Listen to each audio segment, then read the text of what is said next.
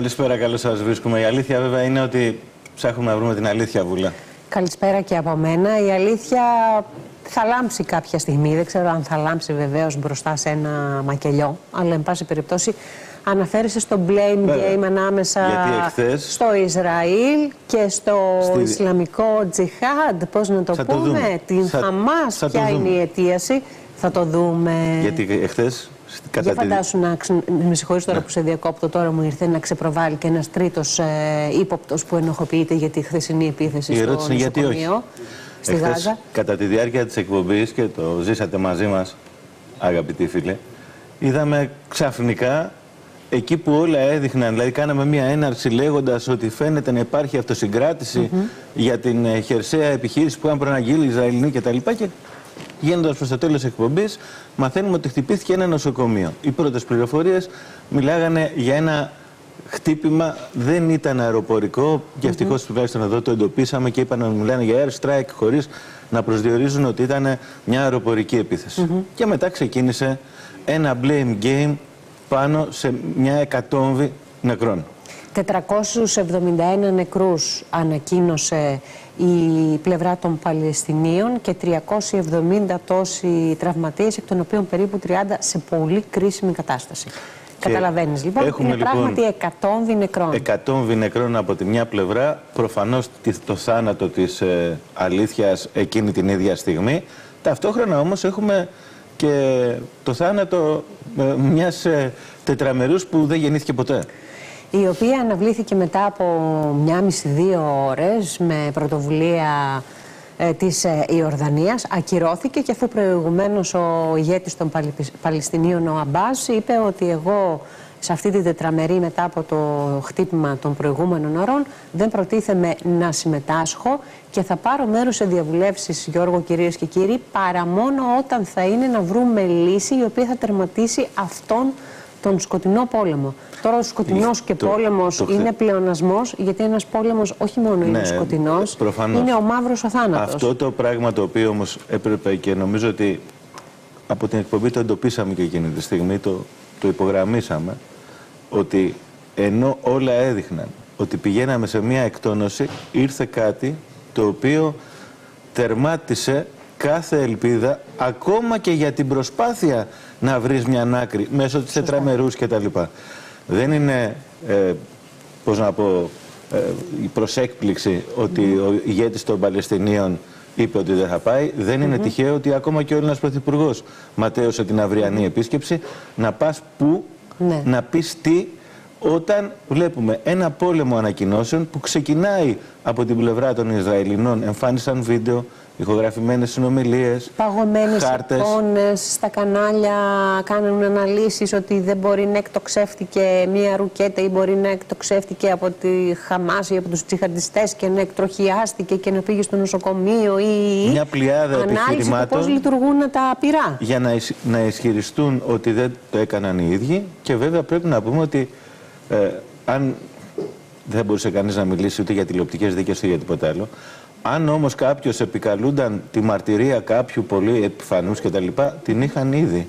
Ο Biden, ο πρόεδρος των ΗΠΑ, τοποθετήθηκε ανοιχτά και καθαρά όχι μόνο υπέρ του Ισραήλ, αλλά ότι το χτύπημα το προκάλεσε the other team, όπως είπε, το άλλο κομμάτι. Φαίνεται πως προήλθε από την άλλη ομάδα το other team, πραγματικά αυτή ήταν και η λέξη team, δεν ξέρω πώς έτσι, του ήρθε Γιατί αυτή η, λέξη. η κουβέντα είναι, ναι. ε, είδες τι είπες, είπες και εσύ, για την Ισλαμική τζιχάντ. Ναι. Εδώ μιλάς για ομάδες, παραομάδες, ομαδίτσες, τα παιδιά του Άισις, τα παιδιά του παλαιότερα των Ταλιμπάν, ε, στη μια έχεις τη Χεσμολάχ, στην άλλη έχεις τη Χάμα και πάει λέγοντας το πράγμα.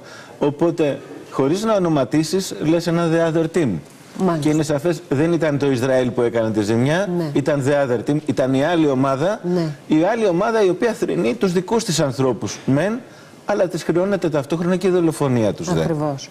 Αυτό λοιπόν είναι ένα θέμα το οποίο ενδεχομένως να ξεκαθαρίσει ή τις επόμενες ώρες, μέρες ή και ποτέ Γιώργο και να δούμε να συνεχίζονται οι αλληλοαιτιάσεις και οι επικρίσεις για αυτό το μακελιό που συνέβη χθες. Θα συμφωνήσω με το ποτέ που είπες. Άπειρες ε, παρεμβάσεις διεθνών οργανισμών, ειρηνευτικών οργανώσεων, του Παγκόσμιου Οργανισμού Υγείας, μην ξαναχτυπήσετε νοσοκομεία, κρατών, μελών, ηγετών και δεν βλέπουμε κανένα αποτέλεσμα. Έχουμε το Ιράν να δείχνει τα δόντια του, τον Ερντογάν να δείχνει επίσης ε, τα δόντια του, αλλά και ο Biden λέγοντας αυτό το the other team, δηλαδή η άλλη ομάδα θα και είμαστε σε φιλικό αγώνα, ε, παίρνει σαφέστατα το, το μέρος του Ισραήλ και δηλώνει ή υποδηλώνει ότι, φταίνε... ότι φταίει η άλλη πλευρά από όπου και αν προέρχεται. Όπου εδώ να πούμε και για την άλλη πλευρά πέντε πράγματα, γιατί νομίζω ότι πρέπει όσο μπορούμε να αποτυπώσουμε πλήρως την εικόνα, δεν είναι και εύκολο.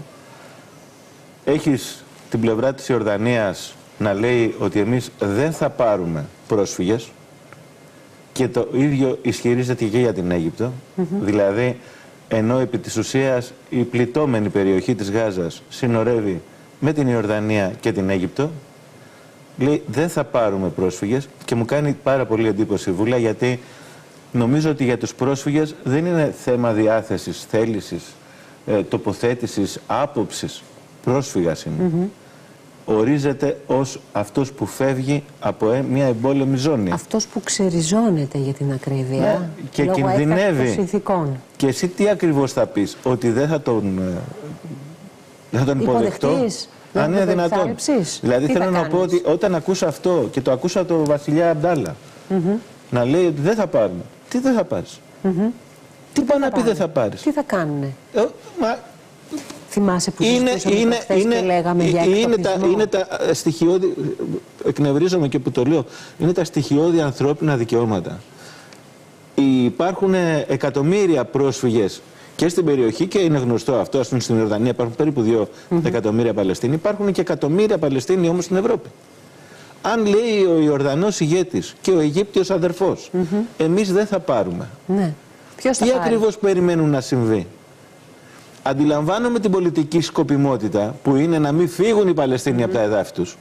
Από την άλλη πλευρά, εδώ έχουν αρχίσει να τους βαράνε και να μην ξέρουν ποιος τους σκοτώνει, γιατί οι δύο που υποτίθεται ότι ενεπλάκησαν ρίχνουν σε ένα blame game την ευθύνη στον απέναντι. Ο ένας ρίχνει την ευθύνη στον άλλον. Και επιμένω ότι ίσως και ποτέ να μην μάθουμε, εκτός αν υπάρξουν κάποια στιγμή κάποια βίντεο τα οποία να είναι τόσο καταιγιστικά ως προς τη δύναμη της ε, πιστότητας, της ποιότητας και της ακρίβειάς τους, που να καταλάβουμε πραγματικά ποιος λέει ψέματα σε αυτή την ε, τραγωδία, την κοινοδία, για παράδειγμα, και ποιος όχι. Βουλές, εσύ πιστεύει ότι υπάρχει καμία περίπτωση. Εγώ σου λέω τώρα, ναι. έχει υπάρξει το ναι. αεροπορικό εντός εισαγωγικών δυστύχημα το οποίο προκάλεσε την εκατόμβη. Υπάρχει περίπτωση να βγουν, αν είναι Παλαιστίνοι, αν είναι Άραβες, αν είναι ό,τι είναι από το other team που λέει ο Biden να το δεχτούν; Σε καμία περίπτωση. Διαβάζοντας από το πρωί ξένο, γιατί με αυτή την έννοια ξύπνησα, ξένα ειδησιογραφικά πρακτορία, υπάρχει η, η ερμηνεία ε, που δίνεται σε αυτό που συνέβη χθες ε, στο νοσοκομείο, το τραγικό αυτό το μοιραίο νοσοκομείο, έγινε έκρηξη. Τι έκρηξη, έκρηξη ναι. ρε παιδιά, εξεράγει κάποια φιάλη τι αερίου; Τι είναι, τι, δηλαδή, κατάλαβες. Φτιάχναμε καφέ και σκάς στον καζάκι. Και απομακρύνονται όλες οι πιθανές εκδοχές που θα οδηγούσαν στον δράστη και στον θήτη. Από τη μια πλευρά, λοιπόν, είναι σαφές ότι σε καμία περίπτωση δεν θα μπορούσαν να αναλάβουν την ευθύνη το The Other Team. Και από την άλλη, αν βγει το Ισραήλ και πει ότι χτύπησε νοσοκομείο, είναι η ομολογία ενός εγκλήματος πολέμου. Ποιος να το αναγνωρίσει ακριβώς τώρα σε αυτό το blame game; Και είμαι σίγουρος ότι πολλοί από τους φίλους που μας παρακολουθούν θα σκέφτονται ότι την εποχή που όλοι ξέρουν τα πάντα λόγω της δορυφορικής παρακολούθησης κτλ. είναι τόσο δύσκολο να ναι. εντοπίσεις από, από που έφυγε ναι, ναι. ένας πύραυλος. Ναι, εντάξει, Δεν τώρα, είναι τώρα εντάξει, ας ε, σοβαρευτούμε λίγο. Μέσα σε όλα αυτά εγώ εντοπίζω και την αμηχανία της Ευρωπαϊκής Ένωσης. Ε, είναι ένας παρατηρητής ο οποίος δεν ξέρει προς τα πού να γύρει. Από τη μία θέλει να δείξει το ανθρωπιστικό και ανθρώπινο πρόσωπο καταδικάζοντας ε, τις τυφλές επιθέσεις. Από την άλλη όμως έχει μία τάση να αγκαλιάζει το πρώτο θύμα αυτής της κτηνοδίας στο Ισραήλ, γιατί από εκεί ξεκίνησε από την επίθεση της ε, Χαμάς και παραμένει ένα θολό τοπίο με μια Ευρωπαϊκή Ένωση χωρίς πρωτοβουλίες σε επίπεδο διπλωματίας, Κανένας- ούτως ώστε να υπάρξει κατάπαυση Κανένας, του πυρός. κανένας, Τίποτα. κανένας δεν εκπλήσεται με την πραγματική ασθένεια αδράνειας από την οποία πάσχει η Ευρωπαϊκή Ένωση. Ξεκίνησε όμως μια κουβέντα που έχει ενδιαφέρον, Ναι. να το πούμε και για τους φίλους μας, ε, φαντάζομαι που μπορεί να είναι και οι πρώτοι που τα ακούνε. Πού πάνε τα λεφτά της ανθρωπιστικής βοήθειας που στέλνει η Ευρωπαϊκή Ένωση στη Γάζα; Ναι. Εδώ ξεκίνησε μια Αυτό, αυτό είναι ένα θέμα. Ξεκίνησε μια κουβέντα γιατί δεν μπορεί να απαντηθεί. Δηλαδή και συνάδελφοι Μήπως που. έχουν παγώσει αυτές οι ροές Αυ- χρημάτων, ναι, γιατί κάτι τέτοιο έλεγε στο σημερινό του μήνυμα παρέμβαση ο Αλέξης Τσίπρας. Αυτές πάγωσαν. Ναι. Η ερώτηση είναι πού πήγαιναν. Πού πήγαινε; Διότι αν, για παράδειγμα, χοντρά χοντρά το λέω, Ναι. ε, στην ε, Δυτική Όχθη, που είναι ε, η μεγαλύτερη κοινότητα των Παλαιστινίων, ε, κου- κουμάντο κάνει η- το παιδί της ε, ΠΙΕΛΟ, η φαταχ Στην ε, περίπτωση της Γάζας, κουμάντο κάνει η Χαμάς. Μάλιστα. Δηλαδή υπάρχει περίπτωση η Ευρωπαϊκή Ένωση να χρηματοδοτούσε τη Χαμάς; Το αφήνω να αιωρείται γιατί δεν απαντήθηκε το ερώτημα. Όχι, δεν δεν βρέθηκε απαντήθηκε. κάποιος να πει Αυτό- κατηγορηματικά, όχι παιδιά δεν τα είναι, πήραν είναι αυτοί. ερωτηματικό. Πού πήγαιναν τα λεφτά και αν υπήρχε ο σχετικός έλεγχος. Γιατί- Είναι τόσα τα αναπάντητα ερωτηματικά, τα οποία πολλαπλασιάζονται σε καθημερινή βάση. Ξέρεις Βουλά, καθημερινή γι' βάση. αυτό και το αναφέρω, γιατί εδώ πέρα δεν έχουμε να κάνουμε μόνο με την παράλυση της Ευρωπαϊκής Ένωσης. Μάλλον για να παραλύσει Την- κάποιος την πρώτα έπρεπε αμυ- να μπορεί την- να κινείται. την αμηχανία Λέω της. για την απόλυτη αδράνεια. Γιατί Ε, σε, σε παράλυση δεν ήταν και με την εισβολή της Ρωσίας ε, στην Ουκρανία, ενώ Ε, εκεί- υπήρχαν οι καταγγελίες, έκτακτα συμβούλια και χορήγηση ευρωπαϊκής ενίσχυσης ε, αφειδώς προς την ε, Ουκρανία. Εκεί νομίζω τα Και πράγματα κάναμε δούλεψαν ό,τι μας υπέδειξαν, το λέω σε εισαγωγικά ή χωρίς, οι Ηνωμένες Πολιτείες Και της αυτή τη Αμερικής. φορά- Αυτή τη φορά το ίδιο θα κάνουμε; Αυτή τη φορά λοιπόν η κυρία Φον ντερ Λάιεν, προφανώς ακολουθώντας τη γραμμή Σολτς, του Γερμανού καγκελάριου, που ακολούθησε τη γραμμή Biden, βγήκε να κάνει τις δηλώσεις υπέρ του Ισραήλ. Μόνο που η κυρία Φον ντερ Λάιεν δεν είναι υπουργός της κυβέρνησης Σολτς. Είναι πρόεδρος τη Ευρωπαϊκής Επιτροπής. Και στην Ευρώπη υπάρχουν πολύ διαφορετικές προσεγγίσεις για το συγκεκριμένο θέμα. Ακριβώς, Και ακριβώς. επίσης υπάρχουν και πολύ διαφορετικά συμφέροντα στην περιοχή. Δηλαδή, δεν μπορεί για παράδειγμα οι Γάλλοι που υπήρξαν Πώς να πω τώρα, επικυρίαρχοι στη συγκεκριμένη γειτονιά για χρόνια και είχαν τα συμφέροντά τους να έχουν τα ίδια συμφέροντα με τους Γερμανούς. Που μάλλον. Ωραία, αυτό απλά είναι ένα άλλο ακολουθούν την θέμα αμερικανική που γραμμή. θέτεις, η ευρωπαϊκή διάσταση, τα ποικίλα και αντικρουόμενα συμφέροντα στην ε, Ευρωπαϊκή Ήπειρο, στη Γυραιά Ήπειρο και στην αναποφασιστικότητα και αμηχανία της ε, ηγεσίας της Ευρωπαϊκής Ένωσης, η οποία δείχνει για μία ακόμη φορά να συμπεριφέρεται ως παρακολούθημα των Ηνωμένων Πολιτειών της Αμερικής. Και το λέω αυτό με τα λόγου γνώσεως. Γι' αυτό λοιπόν ήρθε και ασχέτως και η παρέμβαση του Αλέξη Τσίπρα που, που θίγει αυτήν την αμέλεια, αν θέλεις, ή την ελλειπή ε, αποφασιστικότητα από την πλευρά της ε, Ευρωπαϊκής Επιτροπής ε, και της Κομισιόν. Η ελληνική κυβέρνηση θα μπορούσα να πω, γιατί είχαμε και, Ευρω... και Υπουργικό Συμβούλιο σήμερα, ο κ. Μητσοτάκης θα πάει στην Αίγυπτο το Σάββατο, δεν θα πάει προς ώρας στο Ισραήλ. Νομίζω ότι είναι πολύ Ακολουθεί σωστή. μία η- μετρημένη η στάση. αναβολή της επίσκεψης είναι, νομίζω, μια πολύ ορθή κίνηση. Δηλαδή δεν μπορώ να πω ότι η ελληνική κυβέρνηση, η κυβέρνηση του κυρίου Μητσοτάκη, την οποία αν θέλεις πολλές φορές εγώ την έχω επικρίνει για πάμπολες επιλογές της. Όταν ότι έχει χρειάζεται, πάρει την μία επικρίνει. θέση η οποία ταυτίζεται είτε με το Ισραήλ ακριβώς, είτε με τους Αμερικανούς ακριβώς, είτε με την κυρία Μα κοίτας, Φόντερ στην Λάιεν. κοινοδία της Χαμάς, ε, το χτύπημα δηλαδή που έγινε. Υπάρχει μια προσοχή Ε, στις εκεί- διατυπώσεις. ε, εκεί νομίζω ότι κανένας δεν είχε κανένα απολύτως πρόβλημα να είναι καταδικαστικός και να πάρει το μέρος του Ισραήλ. Από εκεί και πέρα ξεκίνησε κάτι το οποίο δεν εντάσσεται απλά στα όρια της αυτοάμυνας που κάθε κράτος έχει το δικαίωμα να κάνει. Είναι και στο επίπεδο μιας βαρβαρότητας, για να μην πω ότι πάει σε μια εγκληματική λογική. Κόβω το ρεύμα, κόβω το νερό, ας πεθάνουν όλοι. Εντάξει. Αυτό το πράγμα λοιπόν νομίζω ότι σου στερεί το δικαίωμα να παίρνεις μια τόσο καθαρή θέση και επειδή αναφέρθηκε στον Αλέξη τον Τσίπρα, η θέση του Αλέξη Τσίπρα όπως διατυπώθηκε ότι είμαστε με τους άμαχους κάθε πλευράς Ακριβώς. νομίζω ότι αυτό ακριβώς πέρα από τα ανθρωπιστικά πρέπει να είναι η ελληνική θέση γιατί εμείς δεν είμαστε στη Βόρεια Ευρώπη, δεν είμαστε υπερδύναμοι, δεν είμαστε αυτοί που μπορούν να επικαλούνται το δίκαιο του ισχυρού, είμαστε αυτοί που μπορούν να επικαλούνται την ανθρωπιά και το δίκαιο Και έτσι πορεύτηκε η χώρα και κατάφερε να επιβιώσει στο σταυροδρόμι της Ευρώπης με την Ασία. Θέλω να πιστεύω λοιπόν ότι αυτή σε γενικές γραμμές θα είναι και η ελληνική θέση όπως θα εκφραστεί επισήμως από την ελληνική διπλωματία θα και από την ελληνική σου κάνω μια ανατροπή. κυβέρνηση. Πρόσεξε να δεις. Όπως Ναι. καλησπέρα στους φίλους. Μας παρακολουθούν. Ναι. Βλέπω τα μηνύματα απόψε, τα βλέπω μέσω του YouTube. Ωραία. Μας βλέπουν από το YouTube. Ακούω. Γράφει ο Τάσος. Λευτεριά στο κράτος και το λαό της Παλαιστίνης. Γράφει ο κύριος Αντώνας. Δηλαδή το Ισραήλ χτύπησε νοσοκομείο για να στρέψει θέμα εναντίον του. Δηλαδή, θέλω να πω, αυτό το από πού ξεκινάς, πώς το βλέπεις, είναι παιδιά το πραγματικό ζήτημα τώρα. Ακριβώς. Ένα πλαίσιο μέσα στο οποίο Ακριβώς. έχεις παγιδευτεί και πριν να βρεις την αλήθεια, καλύτερα να είσαι παγιδευμένος παρά να μην Ας το πω βάζουμε κριτικά εμείς, τώρα. ε, τώρα Ναι. τα ερωτήματα να, να αιωρούνται. Ε, λοιπόν, ε, πάμε, πριν πάμε στον Ιάσονα Σκηνά, θα σου πω σε τίτλους δύο πράγματα. Ο Ιάσονας έχει πολύ πλούσιο Είναι ρεπορτάζ στο, από στην τη πολιτική Κομματούρα. γραμματεία του ΣΥΡΙΖΑ. Συνέδριο έχει εισηγηθεί ο Στέφανος Κασελάκης για 22 ή 23 με 25 Φεβρουαρίου. Έτσι, και να προηγηθούν 13 περιφερειακά συνέδρια. Αυτό το έναν 13, ακόμη. όλο μπροστά μας το 13 βρίσκουμε. περιφέρειες έχουμε. Ε, και πριν Ούτε προπό 13 να γράφαμε. ξεκαθάρισε ένα πράγμα, Ναι. θα μας τα πει ο Ιάσονας αναλυτικά.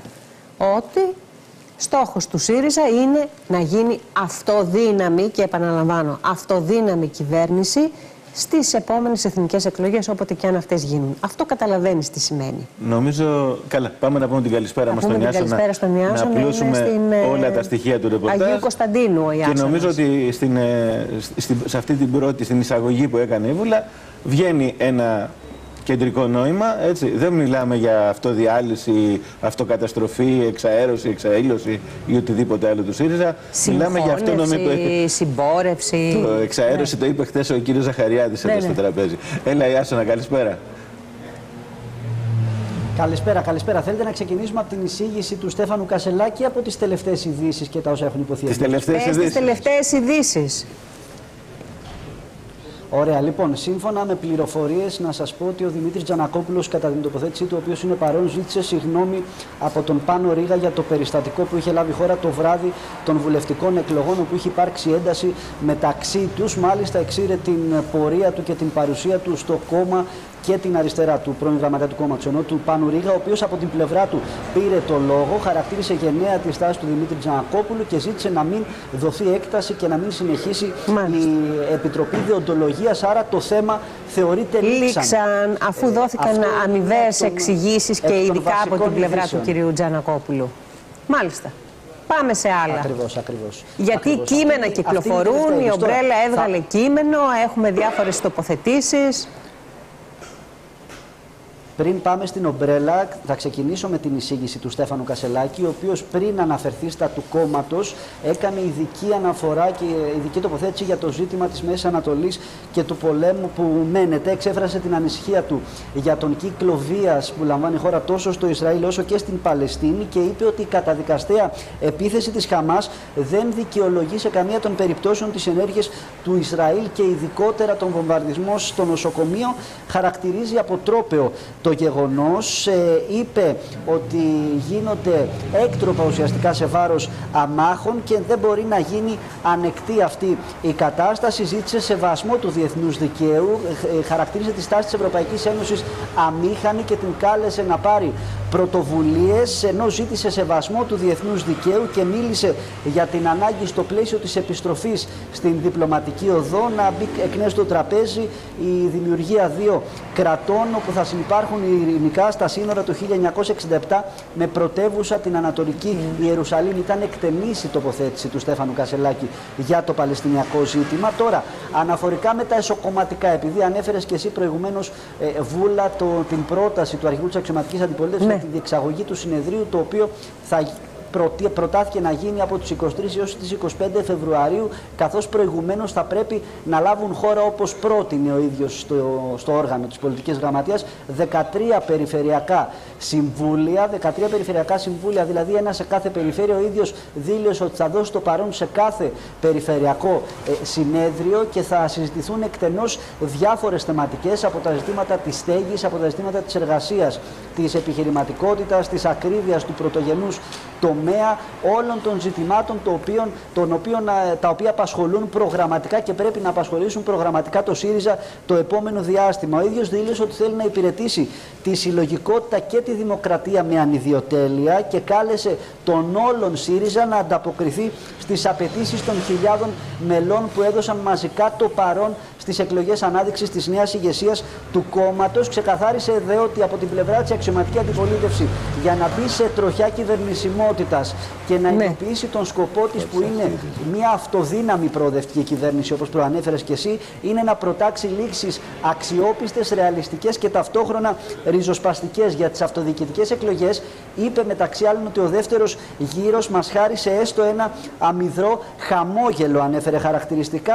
Στάθηκε ιδιαίτερα στο ζήτημα της, της αποχής, την οποία και ο ίδιος χαρακτήρισε ρεκόρ, λέγοντας ότι καθήκον των μελών και των στελεχών του ΣΥΡΙΖΑ είναι να πείσουν τους πολίτες να αναδείξουν ουσιαστικά την αξία της συμμετοχής και της παρουσίας στις εκλογές και στα κοινά. Δήλωσε ότι ο ίδιος ως πρόεδρος θα είναι εκεί πάντα όπου υπάρχει ανάγκη και εκτίμησε ότι επέδρασε θετικά η παρουσία του σε μια σειρά περιοχών όπως τη Θεσσαλία και αλλού για την θετική έκβαση του αποτελέσματος στον δεύτερο γύρο των αυτοδιοικητικών εκλογών ενώ εκτίμησε ότι το αποτέλεσμα δείχνει ότι υπάρχει ένα ρήγμα στην παντοκρατορία και στη μονοκρατορία του Κυριάκου Μητσοτάκη και της Νέας Δημοκρατίας. Αναφορικά με το πρόσωπο της, σύγχρονης, της νέας σύγχρονης αριστεράς όπως είπε ε, είναι αυτό το οποίο ενώνει και δημιουργεί συνεργασίες για το καλό της χώρας. Ουσιαστικά σχολίασε τα όσα έχουν ε, υποθεί στην, στον δημόσιο διάλογο και σε σχέση με το ζήτημα των συνεργασιών. Είπε ότι αυτήν τη λογική της συνεργασίας θα την εκφράσει ο ΣΥΡΙΖΑ και σε ευρωπαϊκό επίπεδο, λαμβάνοντας πρωτοβουλίες από κοινού και με το ΑΚΕΛ, το αριστερό Μάλιστα, κόμμα και αριστερά στην Κύπρο και είπε ότι ο στόχος για την επόμενη μέρα είναι η αυτοδύναμη σύγχρονη αριστερά, η αυτοδύναμη προοδευτική κυβέρνηση με κόμμα που θα ανήκει πραγματικά στα μέλη του. Τώρα, από εκεί και πέρα, να σε κάνουμε κάποιες ερωτησούλες η Άσονα. Κατά την εισήγησή του. Στάσω ένα λεπτάκι γιατί Φυσικά. για να καταλάβουμε κιόλας. Κόβει την κουβέντα περί κοινής καθόδου, ευρωεκλογές, κοινά ψηφοδέλτια. Το σταματάει. Πρώτο. Ακριβώς. Ακριβώς, ακριβώς. Να πάμε και ένα βήμα πίσω. Πιο, πιο σαφές δεν γίνεται. Ναι, νομίζω ότι είναι ε, ένα. τουλάχιστον από την πλευρά του. Χωρίς γιατί... να κόβει την προοπτική συνεργασιών. Σου λέει είναι άλλο όπου χρειάζεται Προφανώς, να ενωθούν κάποιες δυνάμεις. Προφανώς και νομίζω ότι οι δυο μας θα συμφωνήσουμε σε αυτό. Ε, πριν υπάρξει το καταλητικό ίσως αποτέλεσμα των ευρωεκλογών, αυτή η κουβέντα μοιάζει πρόωρη να μην πω και παράλογη. Έτσι. Γιατί ο ΣΥΡΙΖΑ τουλάχιστον το πλήρωσε αυτό τη καλή διάθεση που έχουμε να φτιάξουμε κυβέρνηση με την απλή αναλογική και τελικώς φάνηκε ένα θολό μήνυμα στην κοινωνία. Έχω και μια ερώτηση που προηγείται αυτού όμως. Γιατί μας είπε ο Ιάσονας, μας είπε η Ιάσονα ότι ο κύριος Τζανακόπουλος ζήτησε συγγνώμη από τον κύριο Ρίγα. Ε, η συγγνώμη είναι πάντα μισή γενναία όταν τη ζητάς και την εννοείς. Έγινε αποδεκτή. Ναι, αυτό είπε. Ναι, έγινε αποδεκτή. Είπα ότι ο Πάνος Ρήγας από Το έκλεισε ο κύριος Ρήγας λοιπόν το θέμα. Και είπε ότι θα ζητήσει να κλείσει και ναι. στην Επιτροπή Διοντολογία. Το, το έκλεισε το θέμα. Δεν είναι δηλαδή μια προσωπική. Ναι, το θέμα θεωρείται λήξαν. Ναι, δεν είναι μια προσωπική αποδοχή της συγγνώμης. Ε, Δημήτρη μου, όλα καλά μεταξύ μας. Τράβα στο πειθαρχικό να δούμε τι θα σε κάνουν. Κλείνει το θέμα. Και, και προφανώς έχει τη σημασία του το γεγονός ότι ο κύριος Τζανακόπουλος δεν τηλεφώνησε στον κύριο Ρίγα. Μπορεί να έχει προηγηθεί και αυτό, να του πει πάνω σου ζητώ συγγνώμη. Αλλά ενώπιον των 43 μελών της ε, πολιτικής γραμματείας ε, και όσο, όλων όσοι συμμετέχουν ως παρατηρητές ε, κατέθεσε την δημόσια πια συγγνώμη του προς το συγκεκριμένο στέλεχος. Θέλω να πω και, και γιατί επιμένω στο συγκεκριμένο σημείο. Γιατί; Προφανώς υπάρχει μια αντιπαράθεση απόψεων, αντιλήψεων, προσέγγισης, τι κόμμα θέλουμε, πώς είναι και τα λοιπά. Το συγκεκριμένο περιστατικό όμως, που προφανώς εκφεύγει πολύ της πολιτικής αντιπαράθεσης, νομίζω ότι είχε τραυματίσει πολύ σοβαρά τον ΣΥΡΙΖΑ. Ο Πάνος ο Ρήγας, ένας καθόλου ευγενής άνθρωπος, είχε πει ότι δεν θα το αφήσει έτσι και όσοι είναι συνομιλητές του το γνωρίζουν. Ναι. Και θεωρώ ότι είναι μια πολύ σημαντική εξέλιξη σε ό,τι αφορά την αισθητική του πολιτικού διαλόγου στο ΣΥΡΙΖΑ να κλείνει αυτό το θέμα. Να ναι. σταματήσει λίγο, να το πω έτσι, το παδιλίκι, ε, ε, η Άσονα, το παδιλίκι, το γήπεδο, τα τρολάκια του διαδικτύου που, ε, Παιδιά, ένα λεπτάκι. Αυτοί που τσακωθήκανε βάλανε τελεία. Βάλτε και εσείς τώρα, πάμε παρακάτω. Και για να κλείσει το θέμα, θα έπρεπε να κλείσουν και οι διαδικασίες στην Επιτροπή Διοντολογίας. Ο κύριος Τζανακόπουλος αποφάσισε να εκτεθεί το βάζω σε εισαγωγικά επίσης. Και μπράβο του, του κύριε ενώπιον του Τζανακόπουλου, οργάνου γιατί και και, να αυτό ζητήσει θέλει, συγγνώμη. θέλει μια γενιά. Τώρα να βγάλουμε κάποια συμπεράσματα η Άσονα πριν πάμε και στην, ε, στο κείμενο της ε, ομπρέλας που Άνοιξε η υπογράφεται ομπρέλα; από τα... Άνοιξε η ομπρέλα Με τα πρωτοβρέχια. με τις ακτίνες της. Ε, Αν, θε- αν θέλετε να σας πω τι, τι υπόθηκε και από την πλευρά μεταξύ άλλων του Γιάννη Ραγκούση κατά τη διάρκεια της τοποθέτησης. Μισό του στην λεπτό. πολιτική γραμματεία. Απλώς πριν Καθώς φύγουμε ήταν από, το, στο- από την εισήγηση του κυρίου Κασελάκη για να πάμε μετά στο τι λένε τα στελέχη. Ε, από αυτά το, το χρονοδιάγραμμα που καθόρισε ο κύριος Κασελάκης και υποθέτω θα μπει σε ψηφοφορία ίσως στο τέλος της γραμματείας, δεν ξέρω, σε σχέση με το χρόνο διεξαγωγής του συνεδρίου. Σίγουρα. Α, το έχουμε συνηθίσει αυτό. Ε, καταλαβαίνουμε ότι δεν, α- είναι οριστικό, δεν στρατεύεται το Νοέμβριο αφού το Νοέμβριο θέλει να ξεκινήσουν τα περιφερειακά συνέδρια, ότι αυτά θα ολοκληρωθούν τον Ιανουάριο, ότι τον Φεβρουάριο σύμφωνα με την εισήγηση του θα γίνει τέλη Φεβρουαρίου το συνέδριο, άρα μέχρι τέλη Φεβρουαρίου δεν θα υπηρετήσει το στρατό. Είναι ένα εύλογο συμπέρασμα αυτό; Μένει να το δούμε πάντως το σίγουρο είναι ότι τουλάχιστον αυτό λένε οι τελευταίες πληροφορίες για να μην λέω σίγουρα. Οι τελευταίες πληροφορίες έλεγαν ότι ενώ αρχικά ο Στέφανος Κασελάκης ήταν να υπηρετήσει εντός Νοεμβρίου φαίνεται πως αυτό έχει αλλάξει και πάει για αργότερα. Δεν έχει Ναι. ακόμη διευκρινιστεί. Μένει να Ωραία. δούμε και ποιες είναι οι επόμενες εσώ προκειμένου να προσκληθεί ο Στέφανος Κασελάκης να υπηρετήσει τη στρατιωτική του θητεία. Το ξεκαθαρίσαμε και αυτό. Τώρα πάμε στο κείμενο της ομπρέλας και σε παρεμβάσεις τελεχών όπως αυτή του κυρίου Ραγκούση που είχε και μια κριτική διάσταση εξ όσων μαθαίνουμε.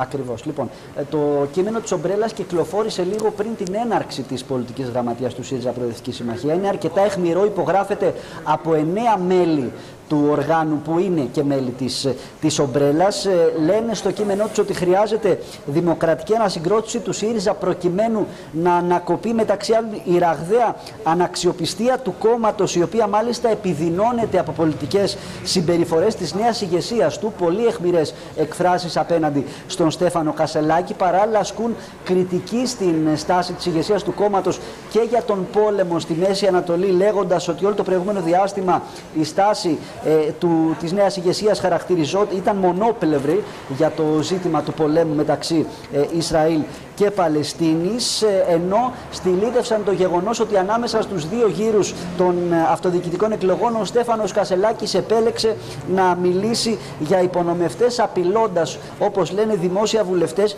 και στελέχη ε, για, το, για το ζήτημα φυσικά των τομεαρχών της κοινοβουλευτικής ομάδας. Έτσι, σε αυτό αναφέρονται από την πλευρά τους τα στελέχη της Ομπρέλας, ενώ έστρεψαν τα πειρά τους εναντίον του Στέφανου Κασελάκη και για την ομιλία του στον ΣΕΒ, ζητώντας παράλληλα την άμεση διεξαγωγή του συνεδρίου εντός Νοεμβρίου.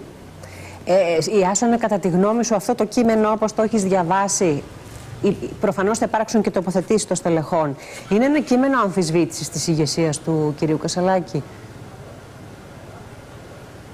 Νομίζω ότι είναι ένα κείμενο το οποίο αμφισβητεί την πορεία του ΣΥΡΙΖΑ την επόμενη μέρα με βάση τα όσα έχει εξαγγείλει ο Στέφανος Κασελάκης. Μάλιστα. Για να είμαστε ακριβείς. Μάλιστα. Το πού θα καταλήξει αυτή η πορεία και το τι είδους έξοδος θα υπάρξει στο τούνελ εξαρτάται από πολλές παραμέτρους. Πάντως είναι, είναι δεδομένο, αν θέλετε, αυτό λένε οι πληροφορίες, ότι ε, τα, πλε- τα περισσότερα στελέχη της Ομπρέλας αλλά και τα μέλη της Ομπρέλας ε, βρίσκονται με το ένα πόδι ε, εκτός. Μάλιστα. Αυτό έχουμε Και καταλάβει και, κάτι εμείς. και πολύ σύντομα, αν θέλεις η Άσονα για τον κύριο Ραγκούση, επειδή το θίξαμε στην δική μας συνομιλία. Ναι, ε, άσκησε κριτική στον, ε, στον Στέφανο Κασελάκη για τα όσα είπε ε, στο Κερατσίνι μεταξύ άλλων ότι επί προεδρίας του γράφτηκαν ε, 500 μέλη σε μία ημέρα, ποιος άλλος το έχει κάνει αυτό. Είπε ο Γιάννης Ραγκούσης, ε, αναφερόμενος στον Στέφανο Κασελάκη, ότι η ηγεσία ο ΣΥΡΙΖΑ δεν άλλαξε ούτε για ιδεολογικούς ούτε για πολιτικούς λόγους, δεν άλλαξε για λόγους υποκειμενικής επάρκειας και ηγετική πληρότητας του Αλέξη Τσίπρα. Ε, Επίσης δεν άλλαξε πρόεδρο για λόγους ενότητας ή κομματικής νομιμοποίησή του από τη βάση και μάλιστα υπενθύμησε ότι ο Αλέξης Τσίπρας εξελέγει με 99% και όχι με 56% και είχε ένα εξαιρετικά συγκροτημένο σχέδιο. Ανέφερε πολλά ο, ο Γιάννης Ρακούσης. Βέβαια, είπε ότι συμφωνεί με την διαπίστωση του Στέφανου Κασελάκη ότι ο ΣΥΡΙΖΑ έχασε στις βουλευτικές εκλογές και δεν κέρδισε η Νέα Δημοκρατία. Ευχαριστούμε πολύ, Σε ευχαριστούμε Άσονα, πολύ, για το Άσονα. σου. Καλή συνέχεια. Λοιπόν, εξαιρετικά ενδιαφέρουσα είναι η Βεβαίως. εξέλιξη. Και θα έχει μάκρωση η συνεδρίαση προφανώς. Ε, και αυτό που είπε ο Ιωάσονας ότι κάποια α, προφανώς αυτοί οι εννιά που υπογράφουν σήμερα ας πούμε εκ μέρους της ομπρέλας είναι με το ένα πόδι έξω ε, θα το πω καθόλου πολιτικά μένα αλλά ανθρώπινα και πολιτισμένα δε είναι αυτό που λέει κάποια διαζύγια πρέπει να έρχονται στην ώρα τους για να ξαναφτιάξεις τη ζωή σου Αν νόμιζα Ναι. για να ξαναφτιάξει τη σχέση σου. όχι, για να ξαναφτιάξει τη Τρόμαξα. ζωή σου. Ο καθένας, άμα δεν γίνεται, είναι if you love somebody, set him free. Έτσι. Άστο να πάει στο καλό. Εντάξει. Λοιπόν, Αφού δεν τα βρίσκουν, ας χωρίσουν και πολιτισμένα και ωραία. σωστά. Και η Αν ζωή χρει- δεν ξέρεις, μπορεί να τα ξαναφέρει. Αν χρειαστεί, θα επανέλθουμε βεβαίως στο θέμα του ΣΥΡΙΖΑ και της κρίσιμης συνεδρίασης της πρώτης υπό την ηγεσία Κασαλάκη της πολιτικής γραμματείας. Θέλεις να πάμε μέσω Skype να συνδεθούμε με τον ε, καλεσμένο μας; Ναι, είναι ο Τάσος Χατζηβασιλείου. Είναι πολύ γνωστός διεθνολόγος, αλλά τώρα έχει και την ιδιότητα πέρα του βουλευτή της Νέας Δημοκρατίας. Είναι γραμματέας της Επιτροπής Εθνικής Άμυνας και Εξωτερικών Υποθέσεων της Βουλής. Καλησπέρα. Καλησπέρα, Καλησπέρα. σας. Ευχαριστώ. Μια διόρθωση. Ήμουν στην προηγούμενη θητεία. Είστε στην πήραμε προηγούμενη. την πρώτη στην Επιτροπή Ευρωπαϊκών Υποθέσεων. Ευρωπαϊκών Ευρωπαϊκών, υποθέσεων. αλλά είστε και διεθνολόγος, κύριε Χατζηβασιλείου. Βεβαίως. Επομένω. Και επί χρόνια συνομιλητές μας με αυτή την ιδιότητα και γι' αυτό και ευχαριστούμε μέσα σε μια τόσο κρίσιμη ε, ε, περίσταση σαν και αυτή που βιώνουμε στη Μέση Ανατολή να ζητάμε μια τοποθέτηση όχι μόνο για όσα συμβαίνουν, αλλά και για το τι πρέπει να κάνουμε εμείς ως χώρα. Είμαστε στο πιο κρίσιμο σταυροδρόμι. Ε, είναι δίπλα μας η κρίση. Τι πρέπει να κάνουμε; Κοιτάξτε, πρώτα απ' όλα δεν χωρεί αμφιβολία ότι ό,τι και να συμβεί στη Μέση Ανατολή, την επόμενη μέρα η περιοχή δεν θα είναι δυστυχώς η ίδια. Θα έχουμε μια νέα πραγματικότητα, πολύ πιο πολύπλοκη και σίγουρα με νέους κινδύνους και νέες προκλήσεις μέσα. Αυτό το οποίο κάνει η Ελλάδα και θα συνεχίσει να κάνει είναι να λειτουργεί επικοδομητικά. Ξέρετε ότι την, στη φάση αυτή από τη Μέση Ανατολή απουσιάζουν αυτό που λέμε οι έντιμοι διαμεσολαβητές. Οι honest brokers, όπως είναι ο όρος που λέμε εμείς στις διεθνείς σχέσεις. Η Ελλάδα μπορεί να, και θεωρείται και πρέπει να θεωρείται ένας έντιμος διαμεσολαβητής, διότι πάντοτε είναι εξύχρεμη και πάντοτε προσπαθεί να συμβάλλει στην επίλυση διενέξεων. Θα συνεχίσουμε λοιπόν να δουλεύουμε στην ίδια κατεύθυνση, γιατί αυτό επιτάσσει την περιφερειακή ασφάλεια. Άλλωστε, είμαστε μια χώρα που παρέχει ασφάλεια και δεν καταναλώνει σε αντίθεση με άλλες γειτονικές μας. Επομένως, έχουμε τη δυνατότητα και το περιθώριο να εργαζόμαστε για την περιφερειακή σταθερότητα. Όμως, αυτό το οποίο συνέβη εχθές στο νοσοκομείο στη Γάζα, αντιλαμβάνεστε ότι αλλάζει άρδιν τις ισορροπίε στη Μέση Ανατολή. Ο βομβαρδισμός αυτός, από όπου και αν προήλθε, γιατί δεν ξέρουμε ακόμα τα πραγματικά γεγονότα, σίγουρα δυναμητίζει το κλίμα και αναδιατάσσει τις δύο πλευρές σε νέες θέσεις μάχης. Ναι. Τώρα υπάρχει και ο ρόλος της ε, Ευρωπαϊκής Ένωσης, της Ευρωπαϊκής Επιτροπής, η οποία δέχεται κριτική, κύριε Χατζηβασιλείου, διότι τηρεί έτσι μια στάση περισσότερο παρατηρητή ή σχολιαστή των ε, εξελίξεων, παρά να εκκινήσει, να, να ενεργοποιήσει, αν θέλετε, τις δυνάμεις της για να υπάρξει μια διπλωματική πίεση Ναι, προς και- τα εμπλεκόμενα Και σίγουρα, μέρη. όπως το λέει η Βούλα, τι πρωτοβουλία να πάρεις όταν φαίνεται να μην ξέρεις που... Τι, αμηχανία, τελ- απόλυτη ευρωπαϊκή αμηχανία. Όχι μόνο αυτό. Σας θυμίζω ότι τις πρώτες ημέρες είχαμε μια κακοφωνία από την Ευρωπαϊκή Ένωση, διότι υπήρξαν ορισμένες. Πιο εύστοχο είναι αυτό που λέτε εσείς. Ναι, ναι. Κακοφωνία υπήρξε. Ακριβώς. Άρα λοιπόν αυτή η κακοφωνία αντιλαμβάνεσαι ότι θολώνει το μήνυμα της Ευρώπης για δημοκρατικές αξίες, για σταθερότητα, για ευημερία και προκοπή. Χαίρομαι διότι η Ελλάδα πήρε ξεκάθαρη θέση ακόμα και στις τηλεδιασκέψεις του Ευρωπαϊκού Συμβουλίου, αυτή που έγινε χθες το βράδυ με πρωτοβουλία του Σάρλ Μισελ. Ο Κυριάκος Μητσοτάκης μίλησε ξεκάθαρα την ανάγκη η Ευρώπη να αποκτήσει θέση ενιαία και να την εκφράσει. Αυτό είναι το μείζον αίτημα σήμερα και αυτό περιμένουν και από εμάς, πιστέψτε με, πάρα πολλοί δημοκράτες πολίτες στη Μέση Ανατολή. Να δουν την Ευρώπη να ορθώνει μια ενιαία φωνή η οποία δεν θα έχει υποσημειώσει και αστερίσκους. Όμως, τις επόμενες ημέρες τα φώτα πέφτουν στην προσπάθεια της Αιγύπτου. Το Σάββατο έχουμε μια διεθνή διάσκεψη. Θα πάτε κι εσείς, ε, κύριε Χατζηβασιλείου; Θα είστε κι εσείς, θα συνοδεύετε. Τον Πρωθυπουργό; Όχι, εγώ δεν θα είμαι στην Αίγυπτο το Σάββατο, ναι. όμως το πρόγραμμα του Πρωθυπουργού αυτό λέει για την ώρα. Ο κύριος Σίση έχει πάρει αυτή την ε, πρωτοβουλία και γνωρίζετε πάρα πολύ καλά ότι υπάρχει ήδη μια ανοιχτή γραμμή μεταξύ των κυρίων Μητσοτάκη και Σίση, ούτως ώστε να μπορέσουμε να βρούμε τρόπους εκτόνωσης αυτής της κρίσης. Όμως σε κάθε περίπτωση μην ξεχνάτε πως ε, το Ισραήλ, όταν η Χαμάς μάλλον έκανε αυτή την τρομοκρατική επίθεση πριν από λίγες ημέρες, προφανώς και γνώριζε ότι το Ισραήλ θα αντιδρούσε έτσι. Το Ισραήλ δεν έχει άλλο τρόπο από το να αντιδράσει έτσι και να αυτομηνθεί, να προστατεύσει τους αμάχους του. Προφανώς η Χαμάς πήρε αυτή την κίνηση υψηλού ρίσκου, πλήττοντας Ισραηλινούς στόχους, για να πλήξει κάθε προσπάθεια επαναπροσέγγισης ανάμεσα σε Ισραήλ και αραβικά κράτη ενοχλήθηκε από τις συμφωνίες του Αβραάμ, ενοχλήθηκε από την προσπάθεια γεφυρώματο ανάμεσα σε Τελαβίβ και Ριάτ, Σαουδική Αραβία. Άρα πήρε αυτή την απόφαση ακριβώς για να υπονομεύσει κάθε προσπάθεια έτσι, επαναπροσέγγισης των αραβικών χωρών με το Ισραήλ. Και εκεί δυστυχώς είναι η μεγάλη του προβλήματος. Και η δεύτερη παρατήρηση που πρέπει να κάνουμε είναι προς Θεού να μην συγχαίουν ορισμένοι στην Ελλάδα τις τρομοκρατικές οργανώσεις και τις δράσεις Χαμάς με τον Παλαιστινιακό λαό. Η Χαμάς δεν είναι ο Παλαιστινιακός λαός. Αυτό είναι πολύ σημαντικό. Η Χαμάς είναι μια συγκεκριμένη οργάνωση ακριβώς η οποία έχει ως σκοπό την εξολόθρευση, ας είμαστε ειλικρινείς, του Ισραήλ. Αυτό η Χαμάς έχει. Αυτός είναι ο στόχος Αυτός θέλει και έχει πολλά. Ε... Αυτό απέχει από το αίτημα των Παλαιστινίων για δημιουργία εθνική αιστείας στα όρια του 67. Κύριε, Χα... Κύριε Χατζηβασιλείου, Επιτρέψτε μας, καταρχήν δεν το συζητάμε, είναι απολύτως όπως το είπατε. Άλλο είναι ο Παλαιστινιακός λαός, οι άμαχοι.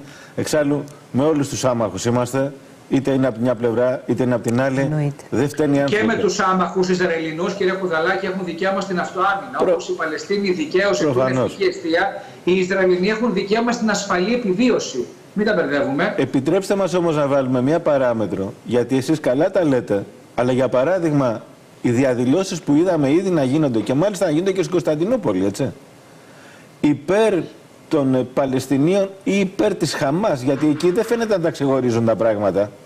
Νομίζω ότι δημιουργούν μια εκρηκτική αραβική κοινή γνώμη που φαντάζομαι ότι θα πιέσει τις κυβερνήσεις. Ο Ερντογάν, για παράδειγμα, που θέλει να παραστήσει τον πατερούλη των, όλων των μουσουλμάνων, από κάτω του έχει ένα ακροατήριο το οποίο το μόνο που φωνάζει είναι θάνατος στο Ισραήλ, Αλάχου Ακμπάρ. Και αναρωτιέμαι πώς θα ανοίξει δρόμος ε, εκεχηρίας, μην πω ειρήνευσης. Κοιτάξτε, αυτή τη στιγμή η Τουρκία έχει ένα σταθερό στόχο να εξελιχθεί στην ηγέτητα δύναμη στο Σουνιτικό Ισλάμ σίγουρα, γιατί είναι και Σουνίτες. Εδώ λοιπόν έχουμε τη Χαμάς, που είναι μια οργάνωση εθνό Σουνιτική, άρα δεν θα περίμενα ποτέ από την Τουρκία να καταδικάσει τις ενέργειες της Χαμάς, ακόμα και αν αυτές είναι απάνθρωπες και αποτρόπες όπως αυτές τις οποίες προέβη τις προηγούμενες ημέρες.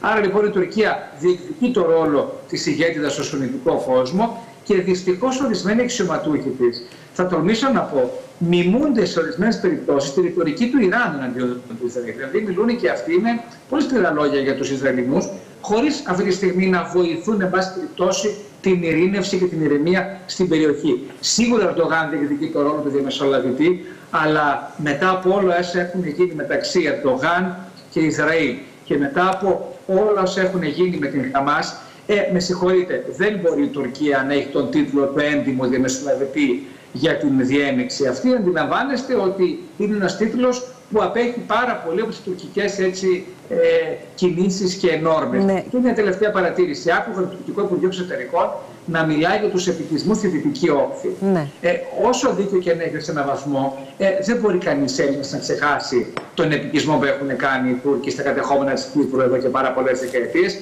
Άρα λοιπόν η, Τουρκία δυστυχώς ακολουθεί τη λογική δάσκαλε που δίδασκες. Καλό θα είναι να κάνει την αυτοκριτική της σε πάρα πολλά πράγματα. Κύριε Χατζη Βασιλείου, από μένα μία, από μένα μία τελευταία ερώτηση. Δεν ξέρω αν ο Γιώργος ο Χουδαλάκης έχει κάτι να σας ρωτήσει επιπλέον. Ε, θα ήθελα ένα σχόλιο για όσα είπε ο πρόεδρος Biden σήμερα στο Ισραήλ κατά τη συνάντησή του με τον κύριο Νετανιάχου. Δηλαδή πήρε σαφή θέση υπέρ της μίας πλευράς. Κοιτάξτε, πρώτα απ' όλα το ταξίδι του Biden είχε υπονομευθεί πριν καν φτάσει ο Biden εκεί, ακριβώς λόγω της, ε, του βομβαρδισμού στο νοσοκομείο της Γάζας, από όπου και αν προήλθε. Ε, το ταξίδι του έχει μια διπλή ανάγνωση. Πρώτον, στέλνει ένα μήνυμα υπέρ του Ισραήλ στην ουσία ότι η Αμερική είναι έτοιμη να εγγυηθεί κατά κάποιον τρόπο την ασφάλεια των Ισραηλινών πολιτών στη Μέση Ανατολή. Δεύτερη ανάγνωση, ήρθε ο κύριος Biden ακριβώς για να συμβολήσει την επανατοποθέτηση των ΗΠΑ στη Μέση Ανατολή. Σας θυμίζω ότι επί Τραμπ είχαν ακολουθήσει οι Αμερικανοί μια πολιτική παλινοδιώσιμα σε Ανατολικό. Α μην κοροϊδευόμαστε. Στην ουσία αποφασίσανε ξαφνικά να αποχωρήσουν από την περιοχή, αφήνοντας ένα κενό ισχύω το οποίο έπρεπε να καλύψουν αναθεωρητικέ δυνάμεις. Έτσι είδατε την Τουρκία να διεκδικεί ρόλο στην περιοχή, τη Ρωσία και ταυτόχρονα τις οργανώσεις τύπου Χαμάς και Χεσπολά. Ε, κύριε Χατζηβασιλείου, τώρα ξέρετε τι γίνεται. Δεν μπορεί κάθε φορά που αλλάζει πρόεδρος στι ΗΠΑ. Παλιότερα λέγαμε ότι άλλαζε, δεν άλλαζε, δεν άλλαζε η εξωτερική πολιτική. Ναι. Τώρα κερδίζει ο Τραμπ, ε, φεύγουμε. Ο Τραμπ μας τα άλλαξε. Ναι, ναι, ε, απόλυτα συμφωνώ. ότι ο Ερντογάν είχε την, ακριβώς είχε την Απόλυτα συμφωνώ μαζί σας. Πίσω πόρτα. Όμως ξέρετε τι γίνεται. Ε, λέω ότι υπήρχε μια ασφάλεια στο δυτικό κόσμο ότι όποιος και αν είναι στα πράγματα στις ΗΠΑ, ξέρουμε ποια είναι η γραμμή. Ήρθε ο Τραμπ, λέει φεύγουμε. Γυρίζει ο Biden, επιστρέφουμε. Και εμείς τώρα θα περιμένουμε τις εκλογές για να δούμε εντός εκτός θα είναι οι Αμερικανοί. Γιατί θα μας μείνει ο αντιαμερικανισμός και το ξέρετε, θα μείνει ο αντιαμερικανισμός σε όλη την περιοχή για να ξεφουσκώσει μπορεί να περάσει και δεκαετίες πια και εμείς είμαστε δεμένοι στο άρμα των Αμερικανών και δεν ξέρω αν αυτό δημιουργεί ένα νέο πρόβλημα. Κοιτάξτε, η Ελλάδα είναι μια χώρα η οποία τα έχει λύσει αυτά τα προβλήματα προσανατολισμού. Ευτυχώς τα έχει λύσει εδώ και πάρα πολλές δεκαετίες. Η χώρα είναι ένα πλήρες και υπερήφανο μέλος και της Ευρωπαϊκής Ένωσης και του ΝΑΤΟ και πάντοτε ακολουθεί τις αρχές και τις αξίες των δύο οργανισμών στου οποίου συμμετέχει πλήρως και χωρίς εκτό και υποσημειώσεις. Άρα λέτε ότι δεν ετεροκαθορίζεται ουδέποτε η πολιτική τροκαθορίστηκε στη χώρα, σίγουρα τα τελευταία χρόνια. Αν δείτε τις ε, τακτικές επιλογές του Κυριάκου Μητσοτάκη, θα δείτε ότι η κάθε επιλογή του στην εξωτερική πολιτική καθορίζεται αποκλειστικά από το συμφέρον της χώρας και όχι από τρίτους, τέταρτους, πέμπτους, ό,τι θέλετε. Αυτό είναι ένα προνόμιο το οποίο είναι κεκτημένο το οποίο το έχουμε κερδίσει εμείς ως Ελλάδα το τελευταίο διάστημα και δηλώνουμε υπερήφανοι γι' αυτό. Όμω από εκεί και πέρα ξεκαθαρίζουμε ότι είμαστε διατεθειμένοι να συμμετάσχουμε σε οποιαδήποτε ειρηνιστική πρωτοβουλία ως έντιμοι συνομιλητές. Και πιστέψτε με, η αξιοπιστία της Ελλάδας στη Μέση Ανατολή είναι πάρα πολύ αυξημένη. Και στους Ισραηλινούς και στους Άραβες. Το έχουμε κερδίσει αυτό εδώ και πάρα πολλά χρόνια και πρέπει να το πιστωθεί ο ελληνικός λαός και το πολιτικό σύστημα εδώ και δεκαετίες. Ευχαριστούμε πάρα πολύ, κύριε Χατζηβασιλείου. Καλό βράδυ. Καλή συνέχεια. Καλό βράδυ. Νομίζω ότι ήταν μια ναι. κουβέντα που κάπως μπορεί να σε βοηθήσει να καταλάβεις. Ναι. Τώρα τι να καταλάβεις κιόλας δηλαδή. Τι να καταλάβεις αφού Έτσι. έχουμε τόσα ερωτηματικά να πλανώνουμε. Ξέρεις, αυτά τα τελευταία που είπαμε Μήπως... για τους Αμερικανούς. Ναι.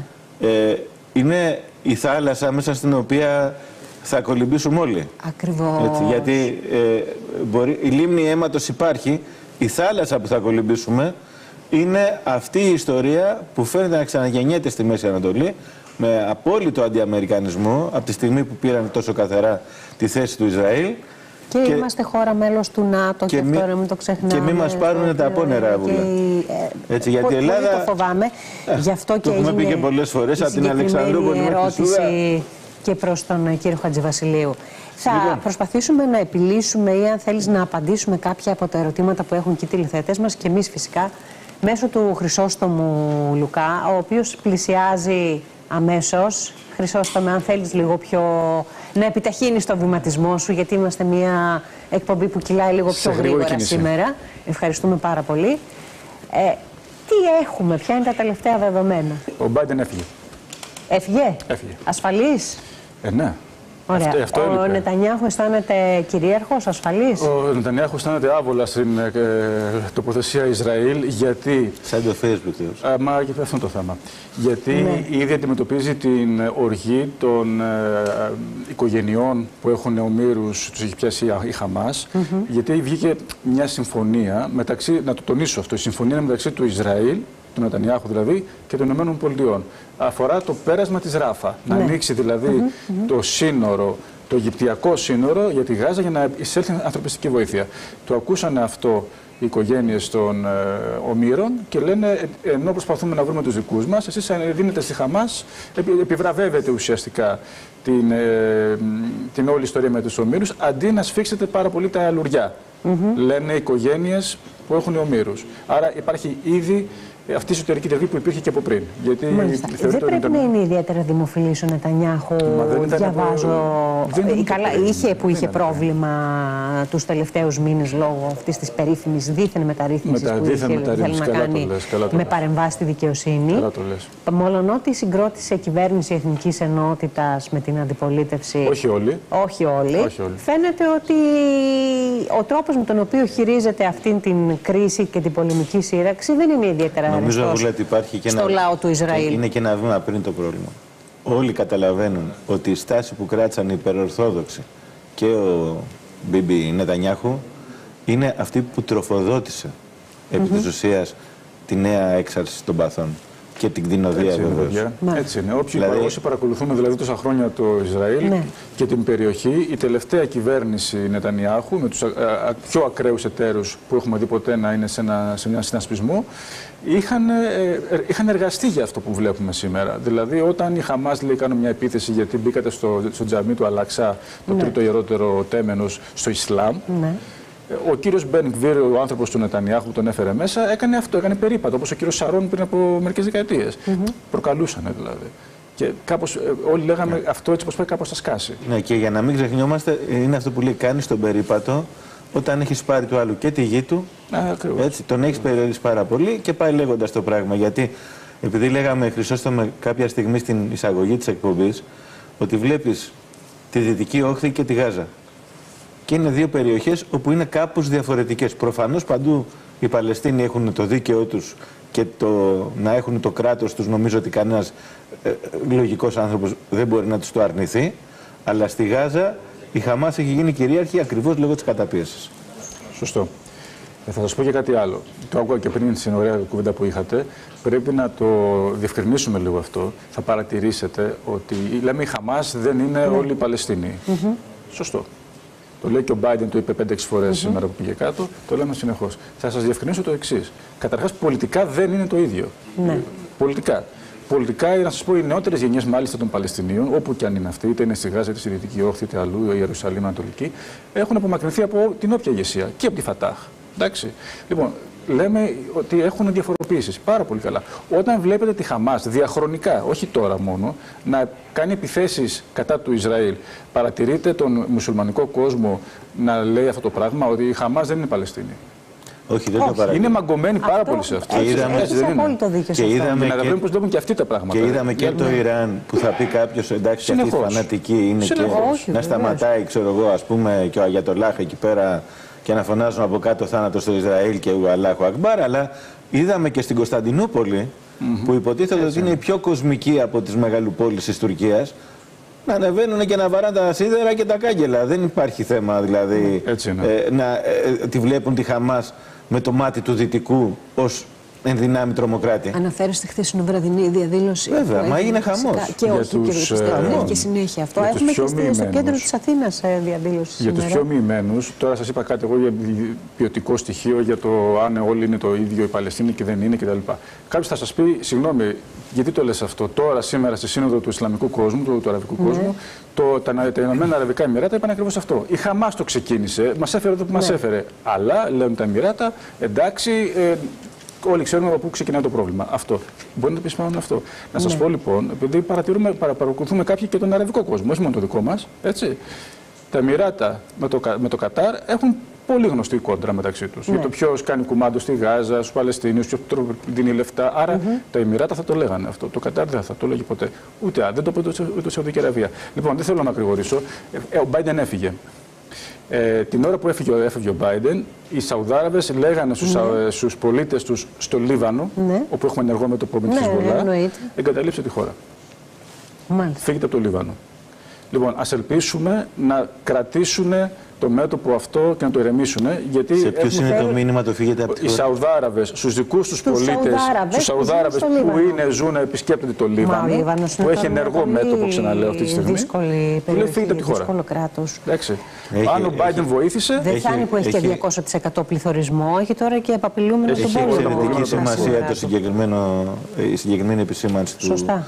Ε, και το timing Έχω, επίσης, γιατί έχω έφυγε ο μία, Biden. μία πολύ μικρή ερώτηση. Η οποία σαν να μας είμαι- προειδεάζουν είναι- για κάποια πράγματα. Κάτι, θα- κάτι ακούνε και Είμαι αυτοί. σίγουρη ότι δεν έχει σαφή απάντηση και αφορά την επικαιρότητα. Υπάρχει περίπτωση να έχουμε εικόνα τι μπορεί να συζήτησαν ανεπισήμως, ο, εννοώς στο off, οι Biden και Νετανιάχου, γιατί προφανώς έκαναν αυτές τις δηλώσεις που είδαμε on camera, αλλά κάπου πρέπει να Ο κατέληξαν. Νετανιάχου ήταν και γραμμένος. Ναι. Ναι, εντάξει, κοιτάξτε, το, αυτό που είπε ο Biden ο ίδιος για το, για το ζητούμενο, τι θα γίνει, αν θα σταματήσει το, το Ισραήλ από μία έφοδο κτλ. Είπε ότι εγώ ως φίλος έκανα τις δύσκολες ερωτήσεις στον Νετανιάχου. Αυτό μας είπε. Από πίσω προφανώς δεν περιμέναμε τον κύριο Biden. Ο Biden ήρθε, ε, γίνεται γίνεται μεγάλη ιστορία 11 μέρες. Τώρα 10 μέρες διπλωματικής πίεσης Ναι, ναι, από ναι. τους Αμερικάνους. Και περιμένουμε, ακόμα δεν έχουν γίνει τα τηλεφωνήματα τις, ε, με τους ηγέτες που ήταν να συμμετάσχουν στη μήνυ σύνοδο στην Ναι, ναι, Ιορδανία. την Και τετραμερή. Ακυρώθηκε. Που Αυτή η ακυρώθηκε, τετραμερή σύνοδο ναι, ναι. ακυρώθηκε.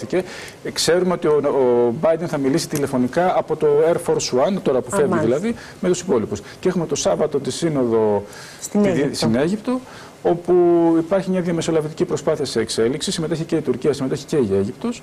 Το ανθρωπιστικό είναι μέσα να μπουν μέσα στην, ε, στη Γάζα, εντάξει. Θα δούμε με τη Ράφα. Υποτίθεται συμφωνήθηκε να ανοίξει η Ράφα. Μάλιστα. Αυτό σας Σε έλεγα. Ας συγκλήτη δεν κρατήσουμε- έκλεισε ποτέ. Ας κρατήσουμε αυτό. Τυπικά έχει δίκαιο, αλλά βομβαρδίζεται και υπάρχει ανασφάλεια. Και να μην βομβαρδίζεται, εμπειρικά σας το λέω, έχω πάει από εκεί πέρα.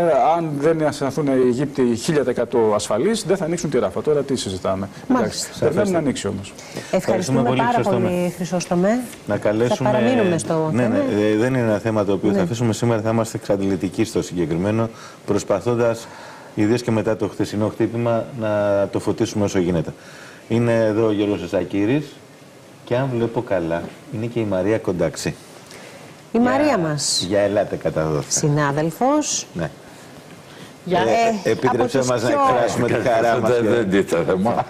Γεια σας, γεια από τις πιο έμπειρες και πιο Χαμογελάμε. έμπειρους ε, δημοσιογράφους που καλύπτουν τα διεθνή Τώρα το θέματα. έμπειρος Μαρία. πάει με την ηλικία, δεν μου αρέσει. Όχι, δεν πάει με την ηλικία, Πλάκα, άλλη αστεύομαι, μόνο. αστεύομαι. Σε ευχαριστούμε Μαρία που Ευχαριστώ. είσαι εδώ. Ευχαριστούμε και τον Γιώργο Τσακύρη Και εγώ σας ευχαριστώ. ναι, με την εμπειρία του. Έχεις, έχεις να φέρεις κάτι Ήθελε φρέσκο το στο σχόλιο του, τραπέζι, ναι, ναι. γιατί η αλήθεια είναι ότι οι απορίες μας ε, έχουν να κάνουν και με... ε, Αυτό είπα και στο Χατζηβασιλείου πριν. Ότι εμείς τι κάνουμε. Εμείς που είμαστε σε αυτό το χάρτη. Έτσι, γιατί καλές είναι αλίες που κάνουμε και με τη Βουλά και λέμε αυτό. ε, Αλλά ε, υπάρχει και μια Ελλάδα εδώ πέρα στριμωγμένη. Φιλοαμερικανική από εδώ, με τους Άραβες από εκεί, με το Ισραήλ και πώς; Πολλές δουλειές με το Ισραήλ. Ναι, Και, πολλές. και όπως, ε, αν θυμάσαι χθες που είπε η Βουλά ότι θα πάει ο Πρωθυπουργός επάνω, εγώ κράτησα μικρό καλάθι λέγοντας ότι Το κάτι θυμάμαι πολύ περιμένετε να δούμε. Ναι, τώρα μην ευλογείς τα γένια σου, με συγχωρείς, διότι το καλάθι το κράτησες για άλλους λόγους. Ο Πρωθυπουργός θεωρητικός δεν πήγε για λόγους ασφαλείας, διότι ακολούθησε η επίθεση στο Γιατί νοσοκομείο. το Ισραήλ είπε Ναι. ότι δεν μπορώ Ναι. να διασφαλίσω ότι δεν θα συμβεί το οτιδήποτε και δεν θα κινδυνεύσει. Εσύ το ήξερες αυτό; Όχι, αλλά ήταν, ήτανε βέβαιο γιατί, για να απαντήσω στον Γιώργο, ότι ναι, εμείς δεν κάνουμε τίποτα. Κυριολεκτικά Ναι. δεν κάνουμε τίποτα. Έτσι. Ε, προσπαθεί η Μήπως κυβέρνηση... αυτό είναι και το σωστό. Δεν το ξέρω. Λέω, ειδησιογραφικά τι μαθαίνουμε. Δεν κάνουμε τίποτα. Προσπαθεί η κυβέρνηση να κρατήσει μια ισορροπία, η οποία. Ε, Ναι, Γιώργο, μου να σου πω κάτι. Επειδή το ρώτησα και ακούγομαι προβοκάτορας όπως πάντα, λέω μήπως αυτό είναι το σωστό. Αν είσαι με τους αμάχους και των δύο πλευρών, προσπαθείς να καταλάβεις τι έχει συμβεί πριν τοποθετηθείς. Για να χρησιμοποιήσω και τη φράση του Άλεξ Τσίπρα, Ναι, δηλαδή. ναι. Είμαστε με τους αμάχους και των δύο πλευρών. Πε- προφανώς. Όταν βγαίνεις φορά παρτίδα και είσαι με το Ισραήλ, την επόμενη μέρα έχεις απέναντι σου όλο αυτόν τον κόσμο στον οποίο υποτίθεται ότι πας να απευθυνθείς. Σαφώς. Ε, αλλά εδώ δεν μιλάμε ε, για δημοσιογραφία, που η δημοσιογραφία είναι, θα πρέπει να είναι με τους αμάχους και των δύο πλευρών σε οποιοδήποτε πόλεμο. Εδώ μιλάμε για μια κυβέρνηση η οποία θέλει να έχει ρόλο. Δηλαδή, Θέλει να παίξει κάποιο ρόλο. Έτσι. Μπορεί η Ελλάδα που έχει ας πούμε ε, ακροτηριαστεί για παράδειγμα ο ελληνισμός στην Κύπρο να είναι με ε, κάποιον ο οποίος μπορεί ας πούμε, να κάνει εισβολή, κατοχή κτλ. Όχι, δεν μπορεί να είναι με. Αν ρωτάς την προσωπική μου γνώμη, δεν Ναι, μπορεί το να ρωτάω. είναι με κανέναν. Έτσι, δεν μπορεί, δεν στέκεται. Αυτή τη στιγμή η ισχυρή είναι γνωστή. Η Τουρκία έχει πάρει το ρόλο που πρέπει. Που, που, όχι της αναλογεί, περισσότερο από το ρόλο που της αναλογεί. Γιατί το επιχειρεί τουλάχιστον. Έτσι, και αυτό επιχειρεί τουλάχιστον έτσι, και δείχνει να τα καταφέρνει μέχρι στιγμής. Και εκτός από μία πρόταση πέντε σημείων που έχει υποβάλει η ελληνική πλευρά μέσω του κυρίου Γεραπετρίτη ε, στα διεθνή φόρα και στην Ευρωπαϊκή Ένωση, δεν υπάρχει τίποτα άλλο από την ελληνική πλευρά. Κάτι που στυλιτεύτηκε, θα Πε- πούμε. Περιμένουμε να δούμε το Σάββατο τι θα πει ο κύριος Μητσοτάκης Ναι. ε, σε αυτή τη σύνοδο στην Αίγυπτο, Ναι. στην οποία θα μετάσχει. Πάντως η θέση της Ελλάδας στυλ- στυλιτεύτηκε σήμερα στην έκτακτη συνέντευξη τύπου που έκαναν ε, οι Παλαιστίνοι στην πρεσβεία τους, Ναι. όπου είπαν ότι θα θέλαμε η Ελλάδα να είναι με το διεθνές δίκαιο περισσότερο. Με, με πιο μεγάλη σαφήνεια. με πιο ενδεχομένως. μεγάλη σαφήνεια. Να, Έτσι. να, να πάρουμε την ε, γνώμη σου, Μαρία, τα παρακολουθείς. Να το ε, πάμε, να θέλετε να το στενά. πάμε από την πλευρά της Ελλάδας ή να το πάμε από την άλλη πλευρά; Να το πάμε από την άλλη πλευρά. Να πούμε λοιπόν ότι αυτή η κατάσταση που έχει αυτή τη στιγμή νομίζω ότι είμαστε στο πιο κρίσιμο σημείο. Η επίσκεψη Biden δεν ήταν καθόλου τυχαία και δεν ήταν καθόλου τυχαία και για τις δύο πλευρές. Από τη δική του πλευρά, γιατί θέλει να έχει καλές σχέσεις με το Ισραηλινό λόμπι, το οποίο βοηθάει οποιονδήποτε Αμερικανό πρόεδρο να εκλεγεί ή mm τέλος πάντων την παράταξή του. Από την άλλη πλευρά, γιατί είναι πολύ στενός εταίρος στο Ισραήλ και από την πλευρά του Ισραήλ για να δώσει κάτι στις ΗΠΑ ώστε να βγουν όλοι κερδισμένοι. Τι έδωσε, έδωσε ότι τους αφήνει, μάλλον από ό,τι λέγεται, να πάρουν βοήθεια στη Γάζα από την Αίγυπτο. Αυτό ήταν το κέρδος mm-hmm. της ε, επίσκεψης. Βέβαια, η χθεσινή επίθεση θα άλλαξε τα πράγματα και θα άλλαξε τα πράγματα ραγδαία και νομίζω και πολύ σκληρά. Ε, αυτό που βλέπουμε και αυτό που καταλαβαίνουμε όλοι είναι ότι δεν είναι ένας πόλεμος Χαμά-Ισραήλ αυτός. Ναι. Γιατί όποιος νομίζει ότι είναι η Χαμάς αυτή που Για έχει βάλε τόσο τίτλο. μεγάλη δύναμη. Ε, Ιράν. Ιράν. Εγώ έτσι πιστεύω. Μάλιστα. Αν με ρωτάς, δηλαδή, τι- ε, έχουμε ξαναδεί τη Χαμάς να πετάει ρουκέτε όλα αυτά τα χρόνια. Μια πολύ ισχυρή Χαμάς. 5.000, 6.000. Πώς, με τι χρηματα Το λέω πολύ απλά. Όχι, και κάνεις πολύ καλά που Δηλαδή- τελείωσε το πολύ απλά. Γιατί με τη Βούλα Ιδίω το έχουμε κουβεντιάσει και έχουμε πολλές κουβεντιάσει φορές. άπειρες Βρήκανε φορές. ξαφνικά τόσο μεγάλη δύναμη να Παίρνει Σίγουρα είναι απόσταση- από πίσω. Απόσταση το είτε- Ιράν και καλά, Αυτό ήταν εμείς η δική δεν μου έχουμε εκτίμηση. σχέση. έτσι, δεν το Δεν βλέπω είμαστε πάνω. εμείς που κάναμε την Ναι. επίθεση. Ναι, αλλά μπορεί να είσαι εσύ που τη σχεδίασες, εσύ τη Που χρηματοδότησες. βοήθησε, Μέγας εσύ που χορηγός. χρηματοδότησες. Ε, Τέλος πάντων, αυτό όμως είναι και το επικίνδυνο της υποθέσεως. Και αυτό δείχνει ότι τα πράγματα έχουν φτάσει σε ένα σημείο πολύ κρίσιμο αυτή τη φορά. Έχουμε ζήσει πάρα πολλές κρίσεις τα τελευταία 50 χρόνια. Ε, Έχουμε δει πολύ σκληρά πράγματα στη Μέση Ανατολή. Σίγουρα είμαστε με τους αμάχους και σίγουρα οι Παλαιστίνοι έχουν ένα δίκιο παραπάνω σε Μαρία. αυτό το κομμάτι. Εδώ για να μην ξεχνιόμαστε όμως, έτσι. Το Ιράν δεν είναι ένα εμμυράτο. Όχι βέβαια, και είναι ένα Έτσι. πανίσχυρο Εδώ κράτος. μιλάς για ένα κράτος πυρηνική δύναμη. πυρηνική- Που ακριβώς. τέλος Πυρηνική πάντων δύναμη, χει- το χειριστήκανε πετρελαιοπαραγωγός πολύ λάθος οι δύναμη. ΗΠΑ τα τελευταία με τε- χρόνια. και με χάσαν την επαφή τεράστια, τους. με τεράστια στρατιωτική και πάρα πολύ Βεβαίως. καλά εκπαιδευμένη μηχανή και βεβαίως και εκείνου Επίσης, του Γιώργο, μαχητέ και Βούλε, εγώ θέλω να πω και το εξής. Η αμερικανική εξωτερική πολιτική μπορεί να μην αλλάζει ραγδαία, αλλά αλλάζει σε σχέση με το ποιος είναι στον Λευκό Οίκο. Σωστά. Θεωρώ ότι η κατάσταση που ζούμε τώρα είναι απόλυτη ευθύνη του, Ντρα- του Τραμπ και της πολιτικής του. Μάλιστα. Για πολλούς λόγους. Δίθεν αποχώρησε. Πρώτον, χάλασε τη συμφωνία. Είχαμε φτάσει σε ένα σημείο από πυρηνικοποίησης του Ιράν, Ακριβώς, ε, ακριβώς. με τον Ακριβώς. Ομπάμα να υπογράφει και την Ευρωπαϊκή Σωστά, Ένωση, σωστά. όλοι μαζί μια χαρά. Το Ιράν ήταν πιο ήρεμο, Σε πιο καταστολή, ψύχρεμο ας το πούμε και σε έτσι. καταστολή όλη αυτή Ναι. η ένταση τέλος πάντων. Από την άλλη πλευρά αναγνώρισε την Ιερουσαλήμ ως πρωτεύουσα του Ισραήλ, Αυτό πάλι. πυροδοτώντας την κατάσταση και αυτό έφερε τ- όλα αυτά που βλέπουμε τώρα. Ο εξτρεμισμός από πλευράς Ισραήλ και οι εσωτερικές του, τα εσωτερικά του προβλήματα, γιατί υπάρχει και αυτό, το οποίο είναι πολύ σοβαρό, γιατί ο Νετανιάχου είναι ένας, ε, πρ- ένας ηγέτης ο οποίος δεν ξέρουμε αν θα υπάρχει ή αν θα είναι φυλακή τα επόμενα χρόνια ή που θα είναι τέλος πάντων, παίζεται το πολιτικό του μέλλον. Όλο αυτό λοιπόν δείχνει ότι η κατάσταση έφτασε εδώ που έφτασε γιατί κάποιου συνέφερε να φτάσει. Και τη Χαμάς φυσικά για να εδρεωθεί, για να, γιατί έχει και τους εσωτερικούς αντιπάλους, γιατί μην ξεχνάμε ότι μέχρι και εμφύλιο είχαμε πριν καμιά δεκαριά χρόνια εκεί. Φατά, Άρα, Χαμάς. άρα Μαρία, επειδή μας τα περιγράφεις έτσι αρκούντως ανησυχητικά. Εγώ τα περιγράφω πολύ απλοϊκά μεν. Ναι, Απλά απλοϊκά, μεν, αλλά απλοϊκά όχι. προκαλούν ανησυχία γιατί Μεγάλη τα ανησυχία βάζεις υπάρχει για σε, σε μένα. σειρά τα Πολύ πράγματα. μεγάλη. Και το ερώτημα, το αφελές είναι. Βλέπεις και γενίκευση του πολέμου, δηλαδή να δημιουργούνται σιγά σιγά και Δεν άλλες ξέρω, κοίταξε αιστείες. να δεις. Πριν την Αραβική Άνοιξη δεν θα, θα έλεγε κανείς ότι δεν θα ισοπεδωθεί η Συρία. Ισοπεδώθηκε όμως. Ναι. Δηλαδή, αν με ρώταγες σε μένα τότε, θα σου έλεγα: Έλα, Μωρή, η Συρία τώρα θα, βγάλει- ο, θα τους κάνει ο Άσαντ ό,τι θέλει. Θα τελειώσει πολύ γρήγορα. Ισοπεδώθηκε. Γεννήθηκε ο Άισις από αυτό. Ο, το Ιράκ δεν πίστευα εγώ ποτέ ότι θα κρεμαστεί ο, ο Σαντάμ. Ο Χουσέιν, Το σε- είδαμε σε- και σε αυτό. κοινή θέα, Θέλω να πω ότι μάλιστα. αυτό που μου είχε πει κάποτε ένας καθηγητής και είχε πάρα πολύ δίκιο, ο Βεργόπουλος, ο είναι μαγκαρίτης, αλλά ήταν πολύ σωστό. Τον θυμήθηκα γιατί μου είχε πει μια πολύ σοβαρή κουβέντα. Όταν τον είχα ρωτήσει για κάποια ιστορία με τα ελληνοτουρκικά και του λέω: Μα κύριε Βεργόπουλο, αυτό δεν είναι λογικό. Και μου είχε πει: Ποιος σου είπε ότι η, η ιστορία γράφεται από τους λογικούς; Ναι. Οι τρελοί τη γράφουν. Θέλω να πω λοιπόν ότι κάποιο λάθος μπορεί να γίνει και να γενικευτεί το πράγμα. Επειδή το ζήσαμε και στην Ουκρανία Του λίγο. το Μακιαβέλη φόβο, που λέγαμε. Ναι, του Ξέρεις πότε Μακιαβέλη. το ξεκινάς, δεν ξέρεις ξέρεις αν ποτέ, τελειώνει. Τι, πώς θα τελειώσει, Ε, ακριβώς. ε, αυτό το οποίο λες ακριβώς συνέβη και χθες έτσι. Μα αυτό το χθεσινό τι ήταν; Έχουμε πάει πολύ μακριά στα προηγούμενα. Χθες δεν συνέβη. Όλοι λέγαμε και νομίζω Ότι και δεν θα εσύ γίνει την ποτέ. ίδια πληροφόρηση ότι ξέρεις ανοίγουν κάποιοι δρόμοι επικοινωνίας. Μα Ε, υπήρχαν οι συνομιλίες στην Ιορδανία Ε, και σε επίσημο επίπεδο. ακριβώς. Και Και- ο Αμπάς τους πήρε πίσω και τους είπε: Ελάτε, γιατί το μόνο που μπορούμε να πούμε τώρα είναι σταματάει ο πόλεμος ή δεν σταματάει. Ακριβώς. Δεν μπορούμε να πούμε κάτι άλλο. Λοιπόν, και, και σε επίπεδο ΝΑΤΟ αυτό έβγαινε ότι παιδιά. Ότι ναι, κάπως θα ωραία, πήγαινε να ε, εκτονωθεί το κα- πράγμα. ναι. Κάτι γίνεται. Μα και η- το Έτσι. Ισραήλ δεν έχει κάνει την ε, επέμβαση που απειλεί ότι θα κάνει. Και δεν την έχει χθες- κάνει ακόμα. Χθες Για να λέγανε δούμε. ότι και δεν θα γίνει κάποιες πηγές. Έτσι λένε τώρα, Έτσι. ότι κάπως έχει μαζευτεί η κατάσταση. Ναι. Κατά τη γνώμη σας θα μάθουμε ποτέ ποιος εξαπέλυσε την ε, χθεσινή επίθεση; Όπως δεν μάθαμε ποτέ πολλά πράγματα. Ξέρεις, η προβοκάτσια αν και η μη ξέρουν προβοκάτσια- ή αν θα μάθουμε. θα μάθουμε Εμείς ποτέ. αν θα Ναι, μάθουμε. ναι, ναι. Εμείς δεν θα μάθουμε ποτέ, αλλά ξέρουν έχει τρεις γεωστατικούς Κοίταξε τώρα. ε, δορυφόρους. Η αλήθεια είναι ότι μια προβοκάτσια με 500 νεκρούς είναι πολύ χοντρή προβοκάτσια.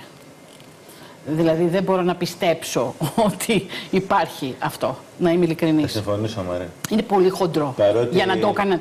Τώρα, αν είναι από λάθος, όπως λένε. Παρότι Ναι, τι να εκεί πω. πάει ο Τόσο νους σου λάθος. Και με τον Γιώργο εδώ το λέγαμε τις προηγούμενες μέρες ότι φαίνεται να υπάρχει μια μεγάλη πίεση για να δείξει αυτοσυγκράτηση το Ισραήλ και εξού και δεν είχε εξωσπάσει, ξέρω εγώ, η Έτσι χερσαία είναι.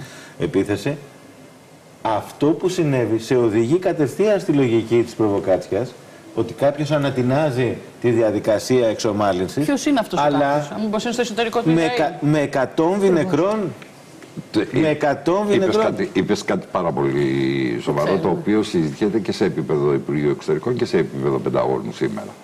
Το μήπως είναι κάποιος τρελός που το Μα έκανε υπάρχουν από και- την πλευρά Παιδιά, του ξέρετε Ισραήλ. πολύ καλά ότι στο Ισραήλ οι ακραίες φωνές είναι πάρα, Είναι πάρα πολλές. πολλές. Και μάλιστα ήταν- Και πολύ ισχυρές. Ήταν χαρακτηριστικό αυτό το Υπάρχουν οποίο... ανεξάρτητες εξτρεμιστικές οργανώσεις στο Ισραήλ. Εντάξει, κοίταξε, ανεξάρτητες δεν θα τις έλεγα. Ναι. Υπάρχουν εξτρεμιστικές οργανώσεις, οι οποίες όμως ζουν υπό την αιγίδα της Μοσάντ. Δηλαδή, θέλω να Ναι, πω, δεν είναι χρησιμοποιεί- και- και τόσο Ναι, όντως. ανεξάρτητες. Δεν είναι ακριβώς Μάλιστα. ανεξάρτητες. Ναι. Το Ισραήλ γενικότερα δεν αφήνει πράγματα στην τύχη και αυτό Ναι. βέβαια πάει τη συζήτηση και λίγο πριν στην αρχή του θέματος.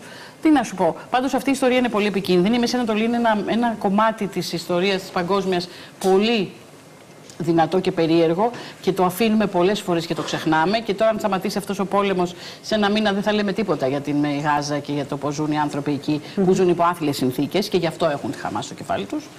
Ε, άρα λοιπόν αυτό που πρέπει να κάνουμε εμείς είναι να, να ενημερωνόμαστε και να είμαστε πολίτες του κόσμου μόνιμα. Εγώ αυτό θεωρώ ότι είναι η λύση. Μάλιστα. Νομίζω ότι ήταν καταιγιστική. Έτσι ήταν Καταιγιστική. πάντως πάντα. Ναι, ναι. Έτσι πρέπει να... Από παιδί που την ξέρει. Και, και έχουμε πάρει και μηνύματα, Μαρία, από τηλεθεατές που χαίρονται που σε ξαναβλέπουν στην τηλεόραση γενικώς. Ευχαριστώ πολύ. Κοίτα, τον περνά- Οφείλω να στα μεταφέρω. Μπες μέσα, Ε, έχουμε φως, θα το δεις το φως. Λοιπόν, πρέπει να σας πω ότι εντάξει τώρα. Λέμε καλά λόγια για τους αδέλφου. Τόσο καταπληκτικό παιδί και τόσο καλό συνεργάτη. Γνωριζόμαστε πολλά χρόνια. Πολύ λίγε Γιώργο, είναι φορέ αλήθεια αυτή. Ισχύει αυτό. το Ευχαριστώ πω πάρα έτσι πολύ, για παιδιά. Είναι δεν με βέβαια κάνει τα σαν να- αισθήματα. να Λοιπόν, είσαι καλά, Μαρία. ε, Και εσεί, κύριε Τσακύρη, να είστε καλά και να μα και έρθετε σας- αύριο. Και επειδή καταλαβαίνει ότι θα την αγκαλιάσω Ναι. τώρα, πάμε σε ένα Εγώ διάλειμμα. μπορώ να φύγω. και για να πούμε εμεί το φιλιούνται αγκαλιάζονται. Ναι, ναι. Πάμε σε Πάμε σε ένα διάλειμμα.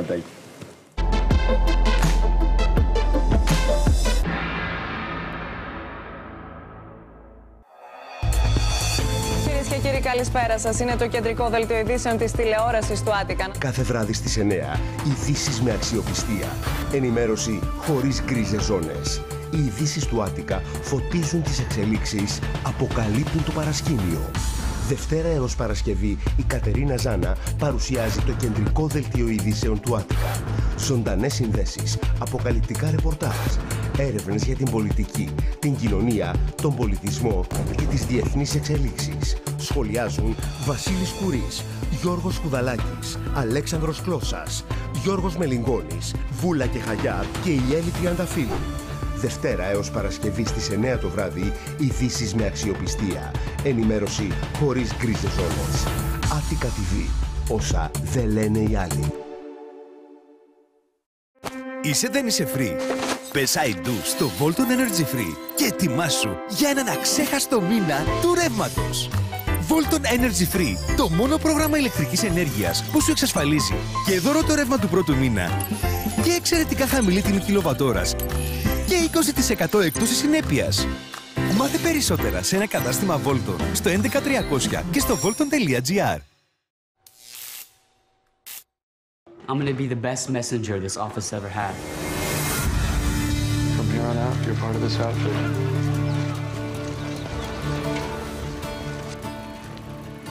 Meg Ryan, Tom Hanks. Σε μια συγκινητική ιστορία ενηλικίωσης. Do you think that this world is going to be a better place after the war? Yes, sir. From the Secretary of War. I don't like the way things are. They don't just die for nothing, do they? You are becoming aware of a world in which you've been a child. There will always be pain in this world, Omar. Ήθακα. Σάββατο στις 10 το βράδυ, στο Άτικα.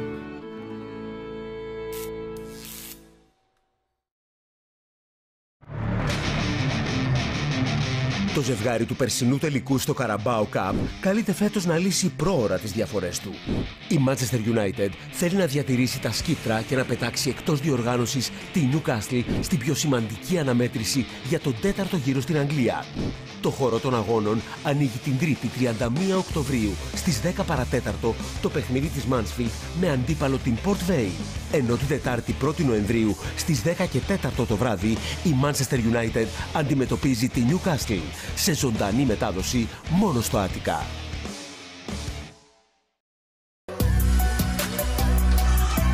αριστερών μου βρίσκεται ο Γιάννης Μπασκάκης. Εκ δεξιών μου ο Ιάσονα Κινα Παπαδόπουλο. Κυριακή 22 Οκτωβρίου στις 10 το βράδυ.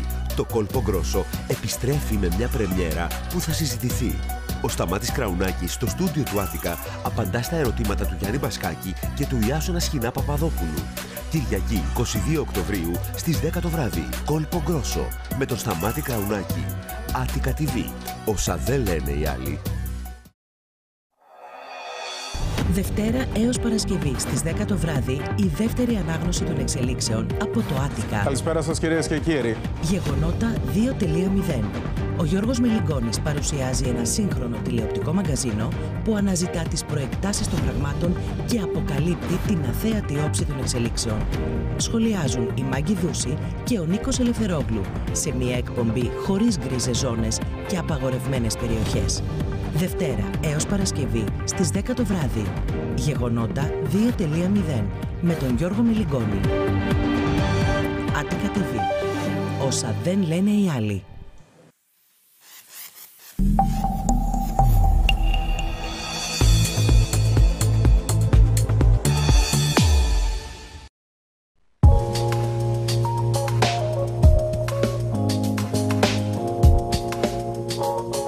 Το πρόγραμμα που ακολουθεί είναι κατάλληλο για άνω των 8 ετών.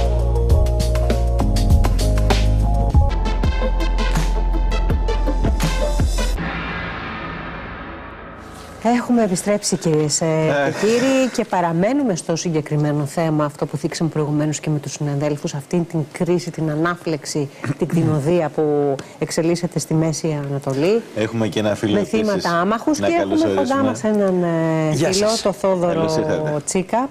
Καλώς σας Είναι βρήκα. διεθνολόγος ο Θόδωρος ε, Τσίκας και φίλος της εκπομπής και του σταθμού και θα θέλαμε με την ιδιότητα του διεθνολόγου Οκ, όχι του κύριε, φίλου.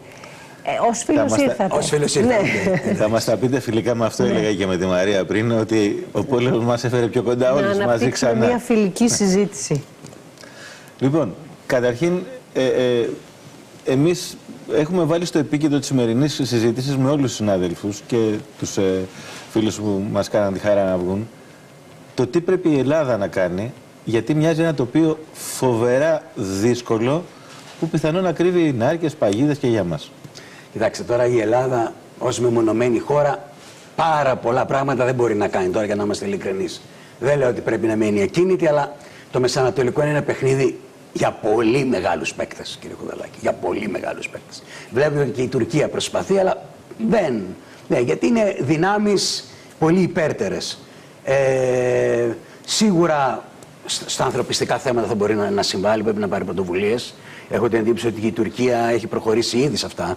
Ε, Από την πρώτη μέρα. από την πρώτη μέρα, ε, ας πούμε, εμείς Είναι τώρα αυτό- μονόπλευρη η προ- η πρωτοβουλία όμως. θα σας πω, θα, ε, μιλάω για τα ανθρωπιστικά θέματα. Δηλαδή μπορεί ας πούμε λόγω των σχέσεών της και με το Ισραήλ που εντάξει δεν έχουν όμως την αχτή στον αέρα πρόσφατα τις έχει βελτιώσει και κυρίως λόγω των σχέσεών της με τη, με τη Χαμάς μπορεί ας πούμε, να μεσολαβήσει για ανταλλαγή εχμαλώτων, ομήρων κλπ. Αυτό το βλέπω. Αυτό μπορεί η Ελλάδα να μην μπορεί να το κάνει. Αλλά ας πούμε το να σταλεί ανθρωπιστική βοήθεια στη Γάζα που θεωρώ ότι θα το κάνει η, η Τουρκία σε συνεννόηση με την Αίγυπτο μπορεί να στείλει και ολόκληρο ε, ή να πάρει τραυματίες, Το να είχαμε πάρει ξαναδεί στο νεκρούς παρελθόν. κλπ. Ήταν Ναι, και η αιτία μπορεί να το τη- κάνει. της Δεν το λέω να σύγκρουσης το κάνουμε ως Τουρκίας-Ισραήλ. ανταγωνισμό με την Τουρκία, αντιθέτως. Θα μπορούν να θρηστούν και, και δυνάμεις. Ανθρωπιστική τώρα συνεισφορά είναι πολύ μεγάλη και δεν ξέρω καν αν θα, αν θα, ε, αν θα αρκεί. Από εκεί και πέρα η Ελλάδα, κοιτάξτε, είναι τμήμα της Ευρωπαϊκής Ένωσης. Δηλαδή, ε, ο ρόλος της Θα- Ελλάδα. Επίτρεψε μου όμως. Ε, όσοι έχουν πάει και είναι πάρα πολλοί Έλληνες που έχουν πάει σε Αγίου Τόπους, έχουν δει ότι εκεί εμείς δεν είμαστε μια ευρωπαϊκή χώρα. Είμαστε παρόντες. Το Greek Orthodox Patriarchate είναι εκεί. Τα καμιά τρακοσαριά σπίτια που νοικιάζουν Παλαιστίνοι, Ισραηλινοί κλπ. στην Ιερουσαλήμ ανήκουν. Θέλω να πω ότι εμείς δεν είμαστε Δεν θέλω να σε. ένας από τους άλλους. Να, σε, να, σε, να σου μειώσω τις, τις προσδοκίες. Όχι, δεν έχω προσδοκίες. Μιλάτε, επειδή μιλάτε με έναν άνθρωπο που έχει επισκεφθεί και τα Παλαιστινιακά εδάφη και το Ισραήλ με Προφανώς. συγκεκριμένες αποστολές και αυτές, όχι, ε, όχι τουριστικά. Ε, φυσικά, αυτό υπάρχει. Αλλά να σας πω να πω κάτι ας πούμε, που δεν το ξέρει το ευρύτερο κοινό. Το Greek Orthodox Patriarchate, Ναι. το Πατριαρχείο Ιερουσαλήμων, είναι ένα, με βάση το νόμο νομικά, είναι ένα Ιορδανικό ίδρυμα. Ανήκει στο Βεβαίως, Ιορδανικό βεβαίως. δίκαιο. Έτσι. Θέλω να πω δηλαδή ότι είναι πολύ περίπλοκη η κατάσταση. Αλλά ας πούμε, φυσικά μπορεί. Αλλά τι μπορεί, δηλαδή μπορεί να ασκήσει, να παρέμβει για να μην υπάρχει πόλεμος; Δεν το θεωρώ. Δεν το ξέρω, αλλά θυμάμαι. Αλλά η Ευρωπαϊκή Ένωση, ας πούμε, Θυμάμαι που και- έχει πιέσεις, που έχει μοχλούς να πιέσει, που μπορεί να ας πούμε, τριπλασίασε την αναπτυξιακή της βοήθεια. Αυτό σημαίνει Ναι. προς τα Παλαιστινιακά δάκρυα. Αυτό σημαίνει Ξέρετε, ότι, έχει, ότι ξέρε- έχει ρόλο, έχει ένα και ειδικό βάρος. προηγουμένως, ε, υπήρξε ένα ερώτημα εδώ σε συζήτηση που είχαμε μεταξύ μας. Αυτά τα χρήματα Ποιος πού τα- έχουν πάει; ποιος τα Έχετε διαχειρίζεται; ελεγχθεί ότι έχουν πάει στο Παλαιστινιακό λαό Κοιτάξτε. ή μήπως πήγανε και στους ηγέτες της Χαμάς. Χαμάς; Ε, αυτό ήταν η μεγα, ο μεγάλος προβληματισμός όλης της διεθνούς κοινότητας και της Ευρωπαϊκής Ένωσης να μην καταλήγουν τα χρήματα στα χέρια της Χαμάς. Και γι' αυτό υπάρχουν συγκεκριμένες μη κυβερνητικές οργανώσεις on the ground, εκεί στο πεδίο, Ναι, ναι. που είτε είναι, είναι επιστοποιημένες, τις ξέρει η Ευρώπη, τις ξέρει ο ΟΗΕ. Υπάρχουν σχολεία του ΟΗΕ μέσα στη Γάζα, εκεί που βλέπετε ότι λένε πηγαίνετε στο νότο της Γάζας, εκεί που είναι τα σύνορα με την Αίγυπτο, Ναι, να ναι. εκενωθεί η Εκεί Βόρεια που- Γάζα. που λένε εκεί να- είναι, να εκεί είναι σχολεία του περιοριστούν. ΟΗΕ και μάλιστα ένα, ένα χτυπήθηκε χτες. Ε, ας πούμε. Ένα σχολείο με κάποια θύματα Ναι, είχε. ναι, με κάποια θύματα. Ε, θέλω να πω δηλαδή ότι υπάρχουν συγκεκριμένες οργανώσεις που, τα- που είναι επιστοποιημένες και ελέγχονται πάρα πολύ. Γίνεται, Πάντως τώρα πήγαμε στο πάγωμα γίνεται- αυτής της γίνεται βοήθειας. stream. Όχι, όχι, όχι. Όχι, Όχι; όχι, όχι, όχι. Ακούστε, να το πω να το ξεκαθαρίσω. Όταν έγινε η τρομοκρατική επίθεση της Χαμάς, ε, βγήκε ένας Ούγγρος επίτροπος, ο οποίος έχει αρμοδιότητα για αυτά και είπε. Τελειώνει, παγώνουμε, κο- την, κομμένες οι παγώνουμε και την χρηματοδοτήσεις. ανθρωπιστική βοήθεια κτλ. Εγώ το άκουσα σε εξαγγελία Και από την βγήκε πλευρά την της επόμενη Ευρωπαϊκής μέρα η Ένωσης. Κομισιόν και τον άδειασε, γιατί αυτός δεν είχε συνεννοηθεί με κανέναν. Καλά, δεν ήταν ο μόνος που δεν είχε συνεννοηθεί με κανέναν. Οκ. Χθες λοιπόν η Ούρσουλα Ναι. Φον ντερ Λάιεν, Λάιεν, η Ναι. πρόεδρος της Κομισιόν, ανακοίνωσε τριπλασιασμό της ανθρωπιστικής και της αναπτυξιακής βοήθειας που δίνει η Ευρωπαϊκή Ένωση με- σε σχέση με αυτό που έδινε. Με τον που έδινε ίδιο πριν. τρόπο; Ε, με τον ίδιο τρόπο, προφανώς ελέγχοντας Δεν ξέρω πώς αν. μπο- πηγαίνει. Τώρα, επειδή ακριβώς είπαμε ότι υπάρχει αυτή η, φι- Πες η- μας, η πες φιλική μας. διάθεση, μι- μιλάμε τόσο ελεύθερα και νομίζω ότι θα βοηθήσει και τους τηλεθεατές να καταλάβουν. Υπάρχει όμως εδώ ένα ζήτημα. Έτσι. Δηλαδή, οι πιστοποιημένες οργανώσεις και τα, κατά πόσο αυτές οι οργανώσεις είναι, συ- είναι ασ, ε, ε, ασφαλισμένες από το να μην υπάρχει διαρροή προς τη Χαμάς. Ναι, αυτό λέω, ότι γίνεται έλεγχος αυτές. Έχουν δει- Άρα γίνεται έλεγχος. Γίνεται έλεγχος. Δεν τα δίνει Εντάξει. η Ευρωπαϊκή Ένωση έτσι τα, ε, τα λεφτά της και αυτό ε, είναι και μια κατά κάποιο τρόπο και μια απέτηση Μεγάλη- του Ισραήλ. γίνεται δηλαδή, με- μη στέλνετε βοήθεια και τα παίρνει η Χαμάς. Δηλαδή, Γίνεται μεγάλη κουβέντα στις είναι- Βρυξέλλες πάντως γι' αυτό. Είναι, είναι πολλοί που, που, που, που ελέγχουν. Τώρα, εντάξει, δεν ξέρω αν κάποιος κάπου κάποτε δίνει κάποια αυτά, αλλά νομίζω ότι κατά βάση αυτά τα πράγματα κατά κάποιο τρόπο ελέγχονται. Υπάρχει και ο, επειδή υπάρχουν και άνθρωποι του ΟΗΕ εκεί, ξέρουν ποιος είναι και δεν είναι κανένα τεράστιο μέρος, ξέρετε. Εντάξει, είναι ξέρουν όλοι ποιος είναι γνωστοί, ο το- Κουδαλάκης, το η έχουμε Κεχαγιά, ο Τσίκας. καταλάβει. Τους ξέρουν περίπου τους ανθρώπους. Τώρα, κύριε Τσίκα, η πρόβλεψή σας μετά και το χθεσινό αυτό τυφλό χτύπημα που μάλλον ποτέ δεν θα μάθουμε από πού προήρθε. Ποια μπορεί να είναι η εξέλιξη στην ε, περιοχή; Με την άφηξη και αποχώρηση του Προέδρου Biden από τη- το Ισραήλ δεν γίναμε σοφότεροι. Ναι, κοιτάξτε. Ε, αυτή η- η έκρηξη, εν πάση περιπτώσει, αυτό το, το δραματικό γεγονός, έκοψε στη μέση, ουσιαστικά αφαίρεσε, κατά τη γνώμη μου, ίσως και το πιο ουσιαστικό μέρος της, της αποστολής του Πρόεδρου Biden των Ηνωμένων Πολιτειών της Αμερικής στη, στην περιοχή. Γιατί; Γιατί θα πήγαινε στο Ισραήλ, θα έλεγε την πολιτική του, θα συναντούσε, αλλά μετά θα πήγαινε στο Αμάν, στην πρωτεύουσα της Ορδανίας, όπου θα έβλεπε τον πρόεδρο της Αιγύπτου, τον βασιλιά της Ιορδανίας τετραμερή. και τον πρόεδρο της Παλαιστινιακής Μμμ. Αρχής, τον Μαχμούντ Αμπάς. Αυτή η δεύτερη συνάντηση δεν έγινε λόγω ακριβώς του Γιατί Που είχε θα τον όμως βοηθούσε να κρατήσει και κάποιες ισορροπίες πρώτον, προφανώς. πρώτον ε. ισορροπίες, πολύ, σ- πολύ σημαντικό. Ναι. Επίσης να θυμηθούμε κυρία Κεχαγιά ότι η Ορδανία και η Αίγυπτος είναι δύο χώρες που παίζουν εξαιρετικά σημαντικό ρόλο στο Παλαιστινιακό. Υπενθυμίζω ότι η δυτική όχθη του Ιορδάνη, το μεγάλο του τμήμα των Παλαιστινιακών έδαφων, παλιά ήταν Ιορδανικό, η δε λωρίδα της Γάζας παλιά ήταν Αιγυπτιακή. Μάλιστα. Και επειδή αυτές οι δύο χώρες, άμεση γείτονες του Ισραήλ, έχουν εδώ και πολλά χρόνια ανα, αναγνωρίσει διπλωματικά το Ισραήλ και φυσικά και το Ισραήλ αυτές, παίζουν πολύ σημαντικό διαμεσολαβητικό ρόλο. Είπα πριν για το Ελληνοορθόδοξο Πατριαρχείο, το οποίο είναι Ιορδανικού Ιορδανικό. δικαίου. Η Ιορδανία είναι ο θεματοφύλακας και των ιερών τόπων των μουσουλμάνων, δηλαδή του, του, του τζαμιού του Αλαξά, που είναι ένα μέρος το οποίο διεκδικείται και από τους Εβραίους και από τους μουσουλμάνους σε τρίτος ιερότερος πόλης. Και πολλές φορές οι γίνεται και υπηρεσίες αφορμή του, για του ματοχιστές. Αλαξά, ο Μουφτής κλπ. Διορίζονται από την Ιορδανία, μισθοδοτούνται από την Ιορδανία. Άρα έχει πολύ σημαντικό ρόλο. Αλλά ακόμα πιο σημαντικό, θέλω να μου το επιτρέψετε αυτό να το πω, ήταν η παρουσία του Μαχμούντ Αμπάς. Γιατί; Διότι ξέρουμε όλοι ότι η Χαμάς δεν εκπροσωπεί τον Παλαιστινιακό λαό. Ναι. Έτσι. Είναι μια εξτρεμιστική, φονταμενταλιστική οργάνωση, έτσι, η οποία μάλιστα έχει επιβάλει και ένα καθεστώς σκοταδιστικό στη Γάζα. Έτσι, Παραβιάζει τα δικαιώματα των γυναικών, απογορεύει τη μουσική, δολοφονεί τους αντιπάλους, τους πολιτικούς Παλαιστίνιους, ενώ όχι μόνο Ισραηλινούς. Έτσι. Πώς, κατε- πώς πήγε στη Γάζα η, η Χαμάς μετά από ένοπλη σύγκρουση με τις δυνάμεις της Παλαιστινιακής Αρχής; Οι Ισραηλινοί το 2005 επί Πρωθυπουργίας Αριέλ Σαρών αποχώρησαν από τη λωρίδα της Γάζας. Έφυγε ο Ισραηλινός στρατός, διέλυσαν τους επικισμούς τους εβραϊκούς, τους παράνομους εβραϊκούς επίκους και ανάγκασαν και τους επίκους να φύγουν από τη Γάζα. Και το παρέδωσαν στην Παλαιστινιακή Αρχή. Μετά από διάφορες περιπέτειες που δεν μας παίρνει τώρα ο χρόνος να τις πούμε, υπήρξε ένοπλη σύγκρουση της Χαμάς με τις δυνάμεις της Παλαιστινιακής Αρχής και κατέλαβαν τη Γάζα.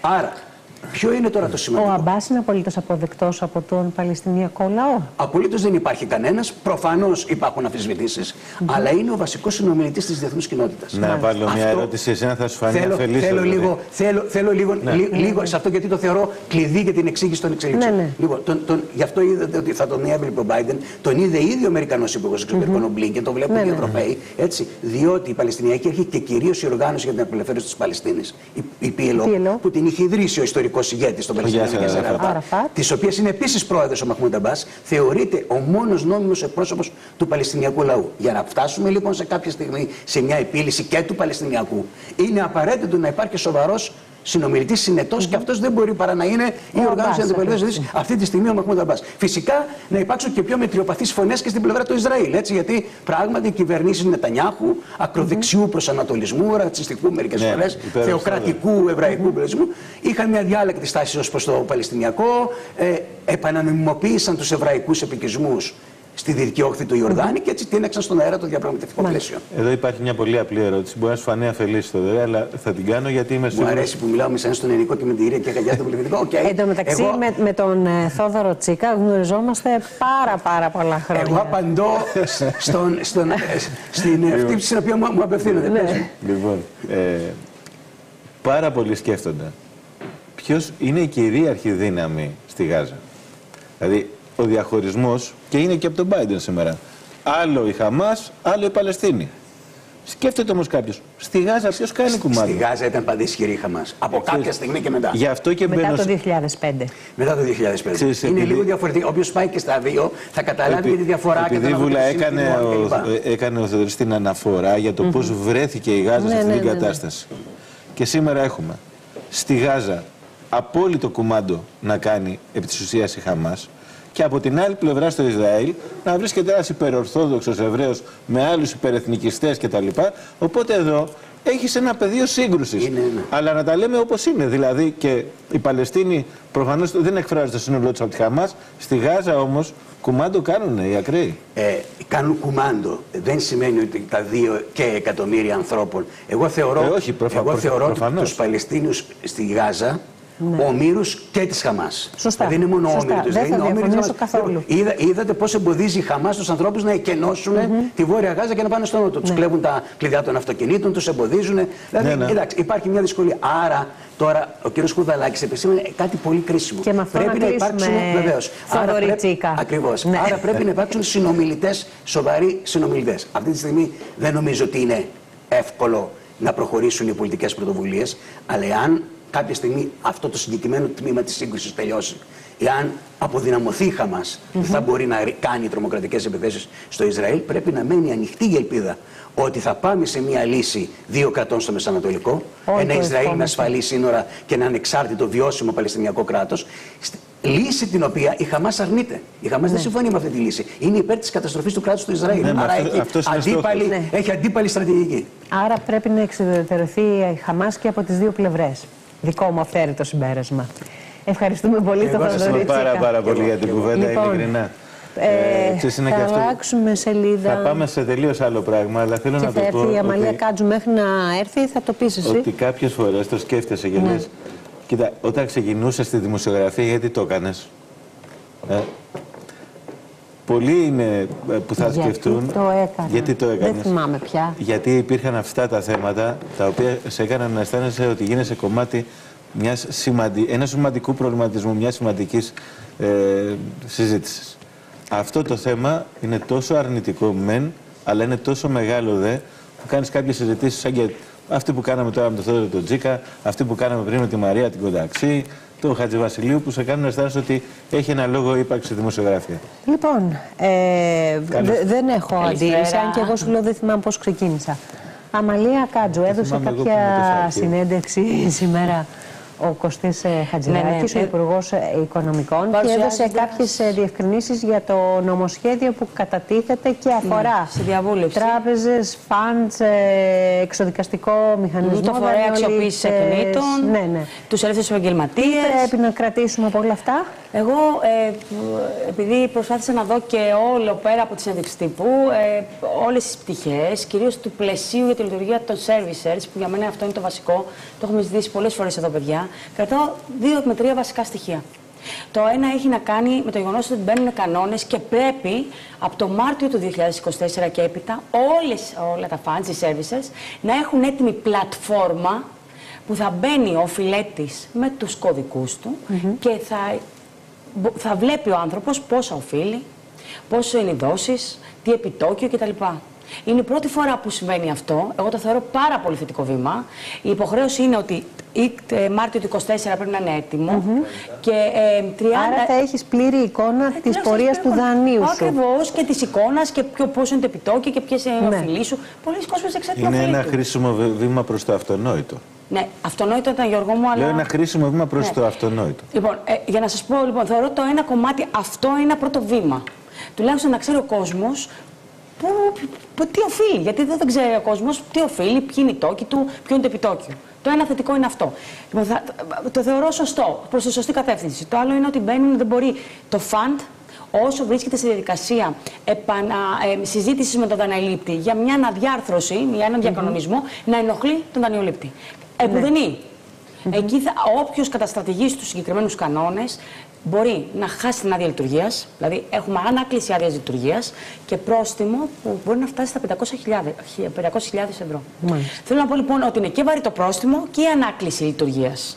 Ε, να δούμε πώς θα λειτουργήσουν. Το ένα κομμάτι λοιπόν αφορά αυτό, τους services και τα funds. Το άλλο κομμάτι είναι αυτό που λέμε βάλωτοι δανειολήπτες. Φυσικά τα εισοδηματικά κριτήρια είναι πολύ χαμηλά, όρια. Δεν αυξήθηκαν. Εγώ περίμενα να αυξηθούν. Εδώ θα κάνω την κριτική μου να πω ότι είναι πολύ χαμηλά. Για πες μας που βρίσκονται τα 7.000 όρια. ευρώ. εισόδημα. Αυτά. Εντάξει. Στα όρια δηλαδή της Φτώχειας, φτώχειας. δεν στα- είναι- Και της ανθρωπιστικής Περίμενα κρίσης. πά, εγώ περίμενα να αυξηθούν, δεν ευρώ. αυξήθηκαν. Όμως πλέον οι τράπεζες και οι services είναι υποχρεωμένες, υποχρεωμένοι με ομικρογιώτα, ε, ο, να μην. Γιατί ξέρετε, γινόταν. Ένα, πήγαινε ευάλωτος, ε, έμπαινε μέσα στον εξοδικαστικό, έκανε την αίτηση. Έπρεπε να έχεις βεβαίως ευαλωτότητας βεβαίως. Έβγαινε η ρύθμιση και ερχόντουσαν ή οι σερβι, ένα servicer ή οι services ή οι τράπεζες και δεν δεχόντουσαν. Και σου λέει από την αρχή. Και όλο αυτό καθυστερούσε. Τώρα είναι υποχρεωμένοι με βάση το νέο νομικό πλαίσιο, νομοθετικό πλαίσιο, να δέχονται αυτομάτως τη ρύθμιση που έχει πάρει ο ευάλωτος δανειολήπτης. Να σε ρωτήσω κάτι άλλο το οποίο μου έχει κάνει εντύπωση. Γιατί το εγώ είχα το διαβάσει θετικό και πολύ πριν αυτό. από ένα μήνα και επιβεβαιώνεται τώρα σε σχέση με το περιεχόμενο αυτού του νομοσχεδίου. Τα ιδρύματα τα οποία θα δίνουν δάνεια και δεν θα είναι τράπεζες. Να τελειώσουμε λίγο με αυτό το κομμάτι των δανειοληπτών, των ευάλωτων, να το πω. Αυτό σημαίνει Επειδή λοιπόν. Εγώ εδώ έχω και κάτι να ρωτήσω ακόμα. Και θα πάμε αυτό που είπε Ε, για τα δάνεια. ε, ε, ε, για, να- για να γίνει κατανοητό. Πέρα από τη διαδικασία. Γιατί αυτό που περιγράφουμε είναι διαδικαστικό. Και ξαναλέω και ένα βήμα προς το αυτονόητο. Δηλαδή ότι κάποιος πρέπει να ξέρει τι χρωστάει, πώς είναι η δόση του. Ήταν αυτονόητο. Δεν γινότανε. Ναι. Ήταν μια απόλυτη παραβίαση και της λογικής. Σωστό. Μέσα σε αυτό το πλαίσιο που παρουσιάστηκε, δόθηκε και ένα πλάνο διευκόλυνσης του δανειολήπτη; Δηλαδή, τι πρέπει να πληρώνει επί της αρχική. Όχι, όχι, όχι. Δεν υπάρχει τέτοια. Δεν υπάρχει. Όχι. Ξαναλέω, είναι πολύ σημαντικό το κομμάτι. Δηλαδή, Αμαλία μου, συγγνώμη που σε διακόπτω, αλλά επειδή θέλω να το καταλάβω. Δε- δεν είναι μόνο θέμα ενημέρωσης. Είναι θέμα ότι μέχρι τώρα και μας το λέγανε και οι δικηγόροι με τους οποίους ε, μας είχες φέρει σε επικοινωνία εδώ στην εκπομπή. Ναι. Θα το θυμάσαι, Βουλά. Που μας Ναι. λέγανε ότι ζητάγανε κάτι τρελές 30, προκαταβολέ. 40, 50, 60% Ε, κτλ. αυτό αλλάζει. Όχι, δεν αλλάζει αυτό. Μάλιστα, εντάξει. Απλώς σου λέει ότι πρέπει να είσαι σε μια συζήτηση με τον δανειολήπτη, τι συμφέρει τον δανειολήπτη, δεν μπορείς να τον ενοχλείς και ότι πρέπει να τηρήσει τους κανόνες. Αυτός που σας είπα, την πλατφόρμα και με τον δανειολήπτη που είναι να γνωρίζει. Τι, πώς και γιατί. Εγώ, Αμαλία μου, τα ακούμε προσοχή όλα αυτά Για που φτάσεις στο λες. δικό σου. Α, όχι, δεν, δεν φτάσουμε στο δικό μου. Αλλά το σχόλιο μου είναι ότι όταν αφορά μόνο δανειολήπτες που έχουν ε, εισοδήματα. Όλοι, και εγώ μπορώ να πω. Μπορεί να μπουν όλοι. Ναι. Α, α, για το, Αυτό το 7 τι σημαίνει δηλαδή; Το 7 ποιους αφορά; Όχι. Ακούστε, ο εξοδικαστικό δεν αφορά μόνο τους ευάλωτες Ωραία. δανειολήπτες. Το 7.000 για πού είναι το όριο; Για τους ευάλωτους. Το 7.000 Θεωρείς ευάλωτος αν έχεις 7.000. Ναι. Άρα Και σε- τι κερδίζεις από αυτό, Κερδίζεις σε ότι εισαγωγικά πια πάντα; αυτοματοποιημένα θα πρέπει οι τράπεζες και οι- ή ο σερβισερ να αποδέχεται τη ρύθμιση της ωφελή σου. Προς όλους. Θέλω να πάω να, με- στην, α, σε όχι τράπεζα να χρηματοδοτηθώ ή να μου πάρει το δάνειο. Τι κάνει Ναι. λοιπόν η εταιρεία πιστώσεων; Ε, εντάξει, όχι, δεν Ναι. δεν Λοιπόν, σου λέει η εταιρεία πιστώσεων, θα πάρω εγώ το δάνειο θα το, ξε- το- από την τράπεζά σου, θα το αποπληρώσω και εσύ θα χρωστάς σε μένα. Αυτό και μ- θα το ακούσετε περίεργο. Μόνο αυτό θα γίνει, η μεταφορά δανείου ή Όχι, η αγορά αποπληρωμή δανείου. από, το, από την εταιρεία Δεν πιστώσεων. μπορώ εγώ από μια εταιρεία πιστώσεων να δανειστώ 100.000 ευρώ. Όχι. Είσαι σίγουρη; Ναι. Άρα, τι μπορείς να κάνεις, Να πας στην εταιρεία πιστώσεων για να πληρώσει την τράπεζα, πώς; Αντί να Ακριβώς. πληρώνω Η την εταιρεία τράπεζα, πιστώσεων, εγώ λοιπόν, τι να είσαι, πληρώνω είσαι την εταιρεία επιχειρηματίας και έχεις ένα πιστώσεων. επιχειρηματικό δάνειο. Θα πάω σε αυτή την περίπτωση. Αντί να πας στον τοπογλύφο στην αγορά, δηλαδή, θα πας σε κάποιον Πας που θα έχει εκεί, ε, σου πληρώνει το γραφείο δάνειο, και σου σφραγίδα. αποπληρώνει το Ωραία, μα το δάνειο πληρώνεις. και χρωστάς στην εταιρεία πιστώσεων. Με τι επιτόκιο; Το επιτόκιο είναι πολύ χαμηλότερο από ότι είναι στην. α, Γιατί δεν υπόκεινται σε όλα αυτά που υπόκεινται τραπεζικά ιδρύματα. Σας το λέω ότι είναι τακτική και πρακτική σε όλες τις ευρωπαϊκές χώρες. Το Αυτό το θέμα θέλω να το ξανασυζητήσουμε γιατί δεν έχουμε σήμερα χρόνο, να ξέρεις. Ε, Είναι μεγάλο θέμα. Θα το συζητήσουμε και παραδείγματα να σας πω. Φέρε μας κανένα που να έχει τέτοια τράπεζα εδώ πέρα είχα που την να αίσθηση δανείζει ότι πιο διάβασα φθηνά. θα χορηγούν και στεγαστικά δάνεια και τα πάντα. Και ότι αυτό θα ελέγχεται από τον κύριο Στουρνάρα. Από, όχι Θα προσωπικά ελέγχεται από από την Τράπεζα της πάντα, Ελλάδος. πάντα. Τι άδειε τραπεζικής χρηματοδότησης βγαίνουν και ελέγχονται. Εγώ από αυτό την που Τράπεζα της καταλαβαίνω, Βουλά, Ναι. και να την ευχαριστήσουμε πάρα πολύ. Να μάλλον ήταν αναλυτικότατη και μας βοήθησε πολύ. Ελλάδος. Τα λέμε και τα Ε, ξαδιπλώνουμε και. Ε, ε, είναι ότι θα υπάρξει κάποιος παίχτη στην τραπεζική αγορά Ναι. ο οποίος θα μπορεί να σε δανείσει για να αποπληρώσει το δάνειο με χαμηλότερο επιτόκιο από αυτό που ήδη χρωστάς στην τράπεζα. Μάλιστα. Αυτό. Ναι, ναι, ναι, μόνο αυτό είναι κομβικό. Όταν πας και πληρώνεις κάστα λεφτά σε μια τράπεζα, ξέρετε πολύ καλά ότι γίνεται και καλό κούρεμα. Άρα η, η, η εταιρεία πιστώσεων, τι σου λέει, εγώ πόσο χρωστάς, 50, στο, το ξοφλώ το δάνειο. Ε, μπορεί να το, από τα 50 να πας στα 35. Καλή ιδέα είναι αυτή. Μπας και καταφέρουμε να Αυτό είναι κάτι αντίστοιχο Εγώ με το αυτό που κρατά, έχουν κάνει κρατήστε το, τα, κρατήστε τα το. fans. Ξέρετε, Τέλος πάντων. κρατήστε το αυτό που σας λέω. Ευχαριστούμε Αμαλία πολύ, Κάτζα, πολύ, ευχαριστούμε Αμαλία. πολύ και καλούμε αμέσως και γρήγορα την υπομονετική σήμερα Έλλη Τριανταφύλου Ναι. για να Η οποία μα πει έχει τι ακου- έγινε στο Υπουργικό Έχει ακούσει όλη τη Μέση Ανατολή Συμβούλιο. σήμερα, αλλά ήταν ε, Ναι. ε, μια εκπομπή εξαιρετικά αφιερωμένη, θα λέγαμε. Έλα, Έλλη, να πάμε και στα πολιτικά Διότι μας. η Έλλη σήμερα στα μπλε όλες μας ε, Ακούσαμε μια- ότι ο κύριος Μητσοτάκης στο Υπουργικό κάλεσε τους υπουργούς να βουτάνε τη γλώσσα στο μυαλό πριν μιλήσουν. Ναι, αλλά και επίσης ακούσαμε τον Πρωθυπουργό Ναι. πριν από λίγο στη συνέντευξή του στον Νίκο Χατζηνικολάου να λέει ότι δεν θα γίνει ένα σχηματισμό. Το κλείσαμε Το κλείσε αυτό. το θέμα, δεν θα γίνει ένα σχηματισμό. Γιατί θέλει να δώσει χρόνο στους υπουργούς, γιατί δεν έχει την αίσθηση ότι δυσλειτουργεί η κυβέρνηση. Μάλιστα. Ε, παρά τα αυτά φαίνεται ότι και στη δημόσια τοποθέτησή του στο Υπουργικό και κατηδίαν μετά τους είπε να είναι πιο προσεκτικοί και να μην ε, διεγείρουν έτσι με μίση αρνητικό και τα πάθη. τρόπο τη, Το λαό. τα ανακλαστικά της κοινή γνώμης. Αυτό με αφορμή τις αυτοδιοικητικές και διάφορες δηλώσεις που είχαν γίνει Ακριβώς. που ερέθησαν την κοινή γνώμη. Ακριβώς, ακριβώς. Κάτι άλλο που έχει Έτσι τον σχέση. Τούκο, δηλαδή, αυτό και γεια Ναι, ναι. Σας. Είπα, βουτάτε τη γλώσσα στο, στο μυαλό σας, υπουργοί που είσαστε έτσι και τα λοιπά και πάρτε το χρόνο σας. Πριν μιλήσετε. Ακριβώς. Ναι. Αλλά δεν θα σας ανασχηματίσω. Όχι. Παρά το γεγονός ότι υπήρχαν επίμονες ε, εισηγήσεις για ανασχηματισμό και όλοι λέγαμε ότι μέχρι τέλος του χρόνου τουλάχιστον κάποιες διορθωτικές κινήσεις, τουλάχιστον σε δύο υπουργεία, για να Ναι. μην πω σε τρία, θα γίνουν. Ο Άφησε κύριος και Μητσοτάκης το κάποιους, πείσε. ε, κάποιες εχμές, ε, εσύ το ξέρεις καλύτερα, για αποτυχώντες υποψηφίους στις αυτοδιοικητικές που είπε πολλές φορές φαίνεται τα πρόσωπα, οι συμπεριφορές κτλ. Ναι, βεβαίως, βεβαίως. Ποιους φωτογράφησε, Έλλη; Τώρα εδώ, Ναι. μ, εδώ Υπάρχει μόνο να ένα εικάσουμε θέμα. μπορούμε. Ναι, Ναι. υπάρχει ένα θέμα. Ε, και είπε ότι ήταν και λυπηρό και προσωπικά για τον ίδιο η ήττα του κυρίου Μπακογιάννη. Μάλιστα. Λόγω προφανώς και της στενής Και της σχέσης στενής και οικογενειακής σχέσης που Και υπάρχει. όχι μόνο, αλλά Που ήταν και ο έχουν- τελευταίος άνθρωπος τον οποίο Ακριβώς. πήγε να υποστηρίξει και έχει βουήξει και το νεοδημοκρατικό σύμπαν ότι οι βουλευτές της Αθήνας δεν τον στήριξαν τον Παπαγιάννη. Αυτό ε, πρέπει να σας πω ότι είναι ε, στην πρώτη γραμμή συζήτησης στη Νέα Ναι, Δημοκρατία. δηλαδή, όλο- για διαφορετικούς λόγους ο καθένας. Δηλαδή, Όλο το εσωτερικό άλλοι κοτσομπολιό αυτό από- είναι τώρα. Μπράβο. Άλλοι από την πρώτη Αθηνών γιατί δεν υπουργοποιήθηκαν. Άλλοι γιατί έρχονται από άλλο στρατόπεδο. Άλλοι γιατί δεν θέλουν να τον βρουν μπροστά τους. Άλλοι γιατί δεν κράτησαν τη θέση που είχαν και ας μην ήταν στην κυβέρνηση νωρίτερα. Έτσι τελικά από όλους όσους εκ- ε, εξελέγησαν, ένας μόνο εμφανίστηκε. Μάλιστα. Ο κύριος Πλεύρης, αυτός εμφανίστηκε κανένα δύο Μάλιστα. φορές. Ναι. Στις, και έχουν και ε, έτσι και, και- μια έκρηξη της κυρίας Πιπιλή διαβάζω Ναι. γιατί άμα δεν δηληθούν τα προβλήματα στο Δήμο της Αθήνας θα πρέπει λέει να πάνε οι δημότες και να ζητήσουν τα ρέστα να τους τα λύσει ο ΣΥΡΙΖΑ. Ναι, καλά, εντάξει. Τώρα. Μάλιστα. Κοίτα να δεις, Εντάξει. εδώ υπάρχει και Αυτό κάτι καταργεί το, το Ε, δικαίωμα εδώ υπάρχει- στην επιλογή. Ναι. Υπάρχει και κάτι ακόμα. Ότι υπάρχουν και δημόσιες δηλώσεις, άλλες ξέρω εγώ έτσι λίγο πιο κομιλφό σαν του Βορύδη, άλλες πιο άγριες, που λέει δεν έχασε η Νέα Δημοκρατία. Ο Μπαγκογιάννης Ο κύριος έχασε. Πέτσας ήταν πολύ, Ναι, ναι. ήταν πολύ, δηλαδή, Ε, ήταν αρκατέργαστη η δήλωσή του, δεν ήταν μπρουτάλ. Ναι, ήταν Ναι, μπροστά. ναι. Δεν Και λέω, ήταν- υπάρχουν και αυτές που είναι δεν λίγο ήταν πιο. κομψή. Α, Αλλά όταν βγαίνεις και έχεις αυτή την τοποθέτηση, να πω και την αλήθεια, και εγώ το ίδιο πιστεύω. Αλλά εγώ είμαι δημοσιογράφος. Και λέω ότι την πάτησε στον πεζό, στον. πε- που- που- Πάλι πήγαν το πω λάθος, Την πάτησε στον περίπατο. Αυτό σου στήχησε. Δεν, τα βάνιασες με το ποσοστό της Νέας Δημοκρατίας. Δεν μπορούσες να θέλξεις ούτε έναν άνθρωπο απ' έξω. Εντάξει. από Αυτό τη- είναι ένα πράγμα. Αυτό ισχύει. Έτσι. Αλλά ότι όταν ο κομματικός μηχανισμός και δει τα πρόσωπα τα οποία έχουν ισχυρούς Ναι. μηχανισμούς, έχουν στρατούς κανονικούς στην πρώτη Αθηνών, έτσι. Εννοείται. Αν δεν κουνήσουν το δαχτυλάκι τους, Ναι. αυτό θα το Για να μην- θα φανεί στο Θα φανεί. αποτέλεσμα. Για να μην ξεχνιόμαστε, εντάξει. 7.000 μείον ήταν Θα από την φανεί πρώτη και στη στο δεύτερη. χειροκρότημα, Έλλη Ναι. μου. Θα Δεν φανεί ήταν και στο 7.000, είναι, ήταν 7.000 μείον. Ναι, το, το ακριβώς. λέω και δεν, μου φαίνεται δύσκολο να το πιστέψω. Ευχαριστούμε πάρα πολύ, Εγώ Έλλη. ευχαριστώ. Για την Ευχαριστώ. υπομονή Καλά. σήμερα, Έλλη. Υπομονή Αλίμονο. σήμερα. Ευχαριστούμε πολύ. Αλίμονο. Και πάμε κατευθείαν στους καλεσμένους Ναι, μας ναι. από τη Βουλή.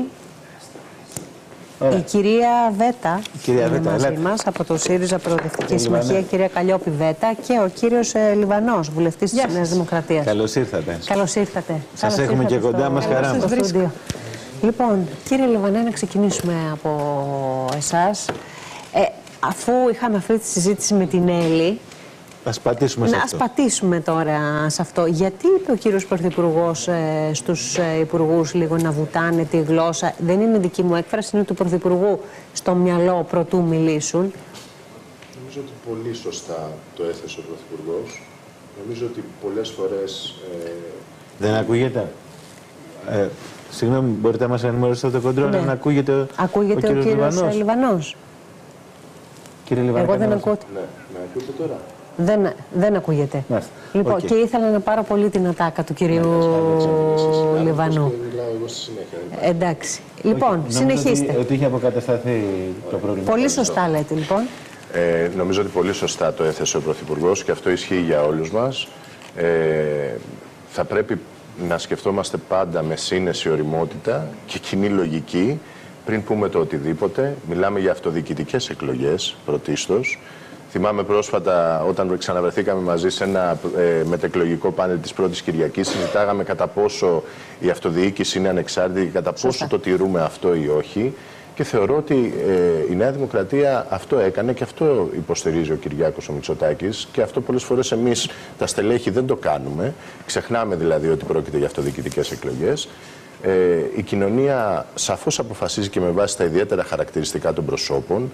Τα πρόσωπα τα οποία κατεβαίνουν στις ε, αυτοδιοικητικές εκλογές παρουσιάζουν ε, σχηματισμούς, παρουσιάζουν ψηφοδέλτια τα οποία έχουν αναφορά συνήθως ε, οι περισσότεροι, αν μην πω όλοι, έχουν αναφορά σε όλο το πολιτικό φάσμα, σε όλο το ιδεολογικό φάσμα. Επομένως, κρίνεται και το στελεχειακό τους δυναμικό και η πρότασή τους στην τοπική κοινωνία. Δεν κρίνεται μόνο η προέλευσή τους.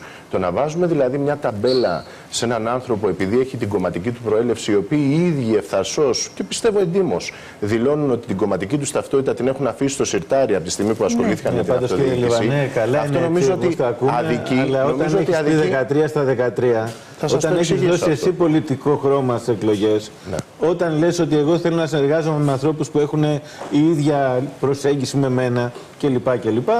Αυτά όλα για- τα οποία είπατε και τουλάχιστον εγώ συμφωνώ απόλυτα, ε, έτσι θα έπρεπε να είναι. Δηλαδή ψηφίζω το Μιχάλη που είμαστε συμμαθητές γιατί τον ξέρω και ο Μιχάλης είναι δεξιός και εγώ είμαι κεντρός και η Βούλα είναι αριστερή, αλλά όλοι συμφωνούμε. Ότι αυτός είναι καλός και τον ψηφίσουμε και μετά βγαίνει εσύ και λες ότι είναι Νέα Δημοκρατία. Πρώτα απ' όλα, Αυτό- πρώτα απ' όλα, κύριε Κουταλάκη, θεωρώ ότι αυτό είναι η έντιμη στάση. Δηλαδή, οι περιφερειακές εκλογές έχουν ένα σαφώς μεγαλύτερο πολιτικό αντίκτυπο και βάρος. Επομένως, εμείς με εντιμότητα απέναντι στην ελληνική κοινωνία και με παρησία και με θάρρος προτείναμε ανθρώπους, συστήσαμε ανθρώπους. Αυτό κάναμε και δεν κρυφτήκαμε, σε αντίθεση με άλλους πολιτικούς χώρους που κρύφτηκαν. Και κρύφτηκαν πολλές φορές και από την πρώτη στη δεύτερη Κυριακή. Εμείς προτείναμε, αλλά ταυτόχρονα είπαμε με εντιμότητα ότι αν αυτοί οι άνθρωποι δεν είναι η επιλογή της Κρύφτηκαν, κοινωνία. απλώς δεν, ε, σκέφτομαι τώρα όση ώρα απαντάτε γι' αυτό. Αν αυτοί οι άνθρωποι δεν εκλεγούν, εμείς θα συνεργαστούμε με αυτούς. Απλά ένας λόγος που προτείνουμε και συστήνουμε αυτούς τους ανθρώπους είναι γιατί είμαστε στην ίδια λογική, στην ίδια νοοτροπία και θεωρούμε ότι αυτό θα το κάνουν καλύτερα από κάποιους άλλους. Αυτές οι επιλογές που κάναμε σε κάποιες περιπτώσεις αποδοκιμάστηκαν, δεν εξελέγησαν. Έτσι είναι και οι εκλογές και έτσι συμβαίνει. Αλλά εμείς είπαμε και θα το κάνουμε όπως το κάναμε και στην προηγούμενη τετραετία. Θα συνεργαστούμε με αυτούς τους ανθρώπους για το καλό της τοπικής κοινωνίας και των περιφερειών, γιατί αυτό έχει ανάγκη ο πολίτης. Ο πολίτης έκανε την επιλογή του και πρέπει να τη σεβαστούμε την επιλογή του, να την τιμήσουμε και να δώσουμε εργαλεία σε αυτούς τους ανθρώπους για να κάνουν το καλύτερο δυνατόν για την τοπική τους κοινωνία. Περιμένουμε να το δούμε με ειλικρινά, με μεγάλο ενδιαφέρον. Νομίζω ότι ήδη το είδαμε και στην περίπτωση της Θεσσαλίας. Έτσι που ο- ε, ένας άνθρωπος ο οποίος είχε την υποστήριξη παρόλο που ο ίδιος δηλώνει ότι δεν προέρχεται από κάποιο κομματικό χώρο, είχε την υποστήριξη του Πασόκ και του ΣΥΡΙΖΑ, ο ίδιος ο άνθρωπος αυτός αμέσως προσκλήθηκε και στο Μέγαρο Μαξίμου προκειμένου να επιταχυνθούν οι διαδικασίες αποκατάστασης των μεγάλων ζημιών που υπάρχουν στη Θεσσαλία. Εντάξει, βάζουμε και ένα- αυτό κάτι δείχνει. Βάζουμε ένα τελεία Συγγνώμη, εδώ, δεν γιατί, βιάστηκα λίγο. Δεν γιατί, πειράζει, δεν γιατί πειράζει. είναι, είναι και πολλά τα οποία θα μπορούσε να βάλει κανείς σε μια κουβέντα. Σε αυτό το συγκεκριμένο. Λοιπόν, πάμε στην κυρία Βέτα. Κυρία Βέτα, θα σας πάμε λίγο στα δικά δικά σας στα, στα κομματικά, γιατί εξελίσσεται η Μπορώ πολιτική... να κάνω ένα σχόλιο α, για αυτά που είπαμε. Ε, θα μας απαντήσετε πρώτα για το ΣΥΡΙΖΑ, αν δεν έχετε, και μετά Να πείτε ό,τι προλάβουμε να θέλετε. εκμεταλλευτούμε τον λίγο χρόνο που Ε, έχουμε. εξελίσσεται η πολιτική γραμματεία του ΣΥΡΙΖΑ. Φαίνεται ότι δεν είναι μια ανώδυνη διαδικασία. Υπάρχει και ένα κείμενο έντονης κριτικής, μια πολύ αιχμηρή ομιλία, παρέμβαση από τον κύριο Ευκλήδη Τσακαλώτο.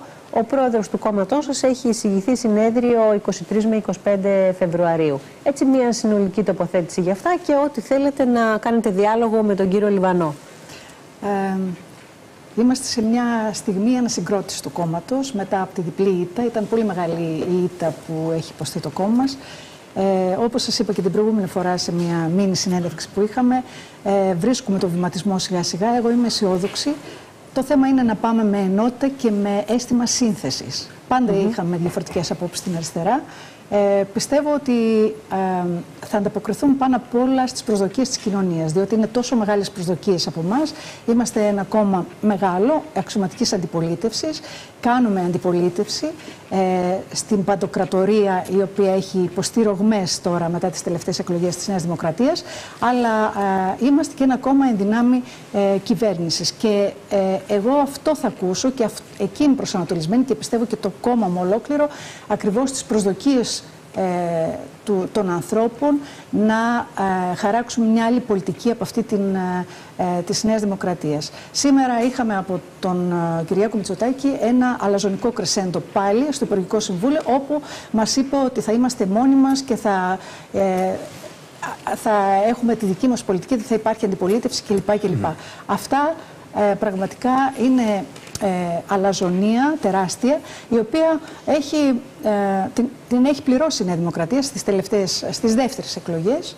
Ε, και επανέρχομαι σε αυτό που ήθελα να σχολιάσω και με τον συνάδελφο που μίλησε προηγουμένως, ότι είναι παράδοξο την πρώτη φορά ε, να είναι στις πρώτες εκλογές, τις αυτοδιοικητικές, να βγαίνει ο κ. Μητσοτάκης και να λέει ότι η νίκη της Νέας Δημοκρατίας είναι επιβράβευση της πολιτικής, να δίνει ο ίδιος πολιτικές διαστάσεις στις αυτοδιοικητικές εκλογές και τώρα μετά την ήττα που έχει υποστεί ε, στις περιφέρειες και στους πιο μεγάλους δήμους να λέει ότι είναι θέμα προσώπων. Ναι. Είναι σαν να είναι δύο σταθμά και δύο μέτρα ε, ε, εξαιτίας των εξελίξεων. Είναι πραγματικά μία ρογμή. Υπάρχει, φαίνεται, ένα αντιδεξιό μέτωπο το οποίο αναπτύσσεται. Είναι σαν να ε, φάνηκε ε, ο βασιλιάς ότι δεν είναι γυμνός. Ναι. Ε, ο- Ή μάλλον μόνο ότι, είναι γυμνός, συγγνώμη. Ε, ότι είναι γυμνός. Φάνηκε ξαφνικά, ε, γιατί το 41% που συνέχεια επικαλείται η Νέα Δημοκρατία δεν λύνει τα προβλήματα. Τα προβλήματα δυστυχώς της κοινωνίας είναι εδώ, είναι στην καθημερινότητα των πολιτών, είναι η ακρίβεια,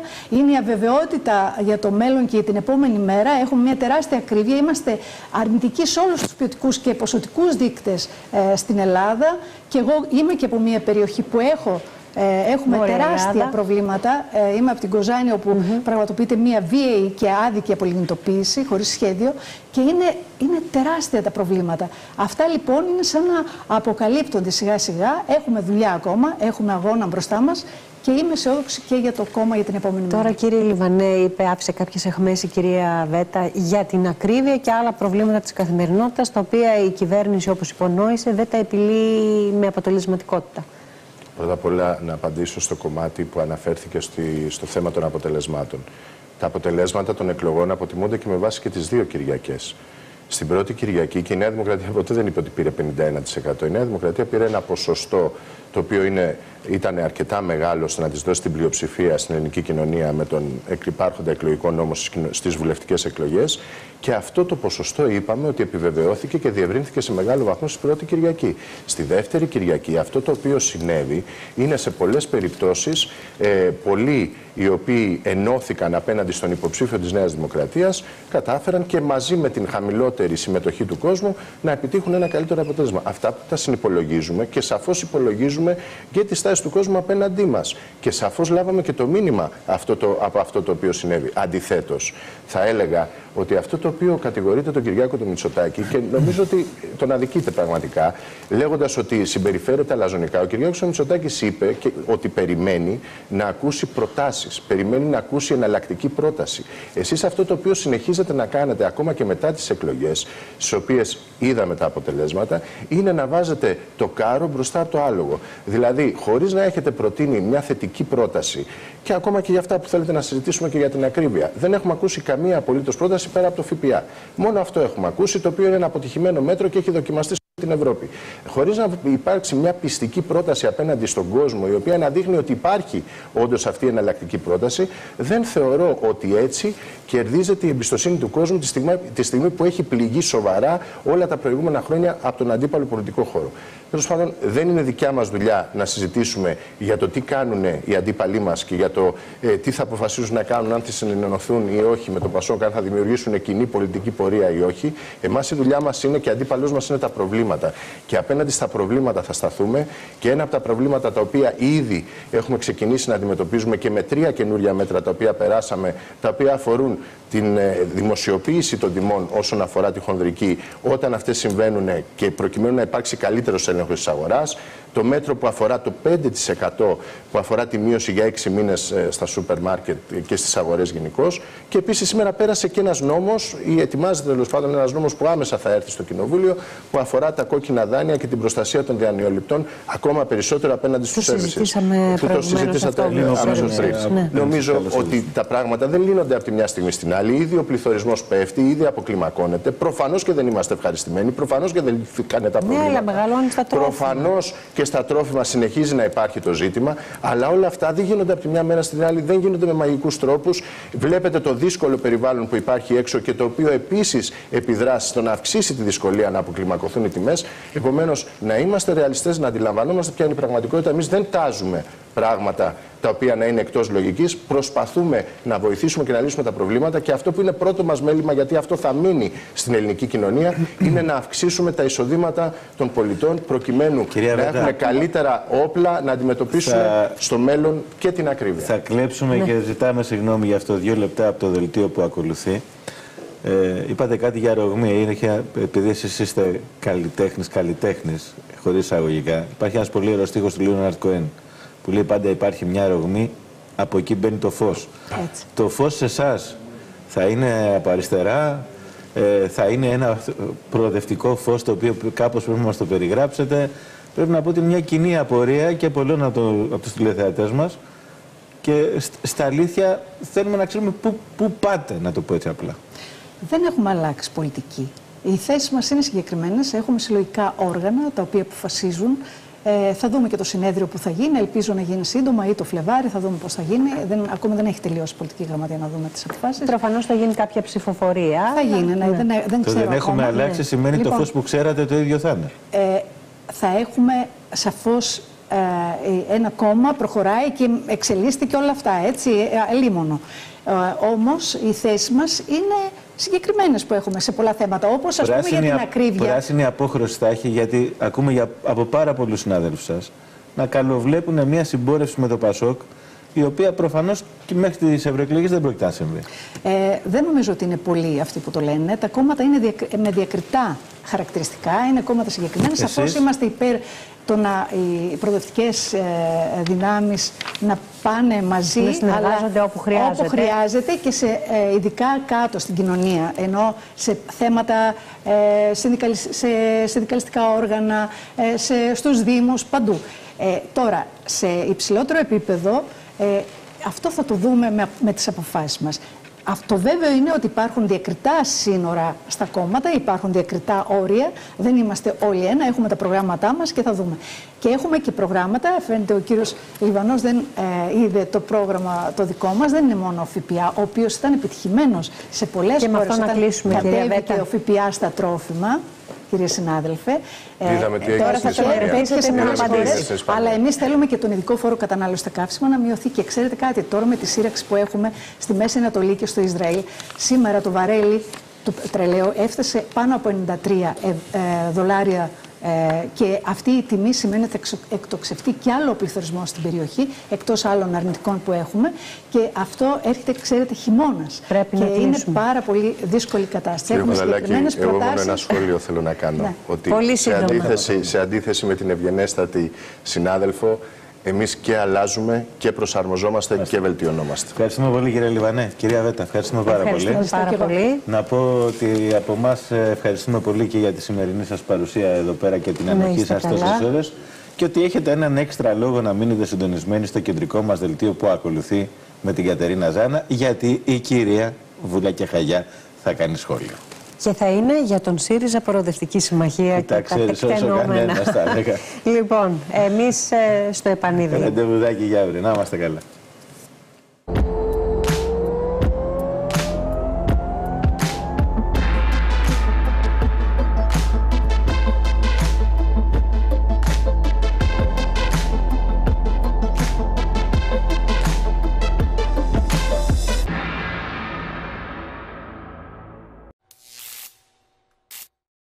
I'm gonna be the best messenger this office ever had.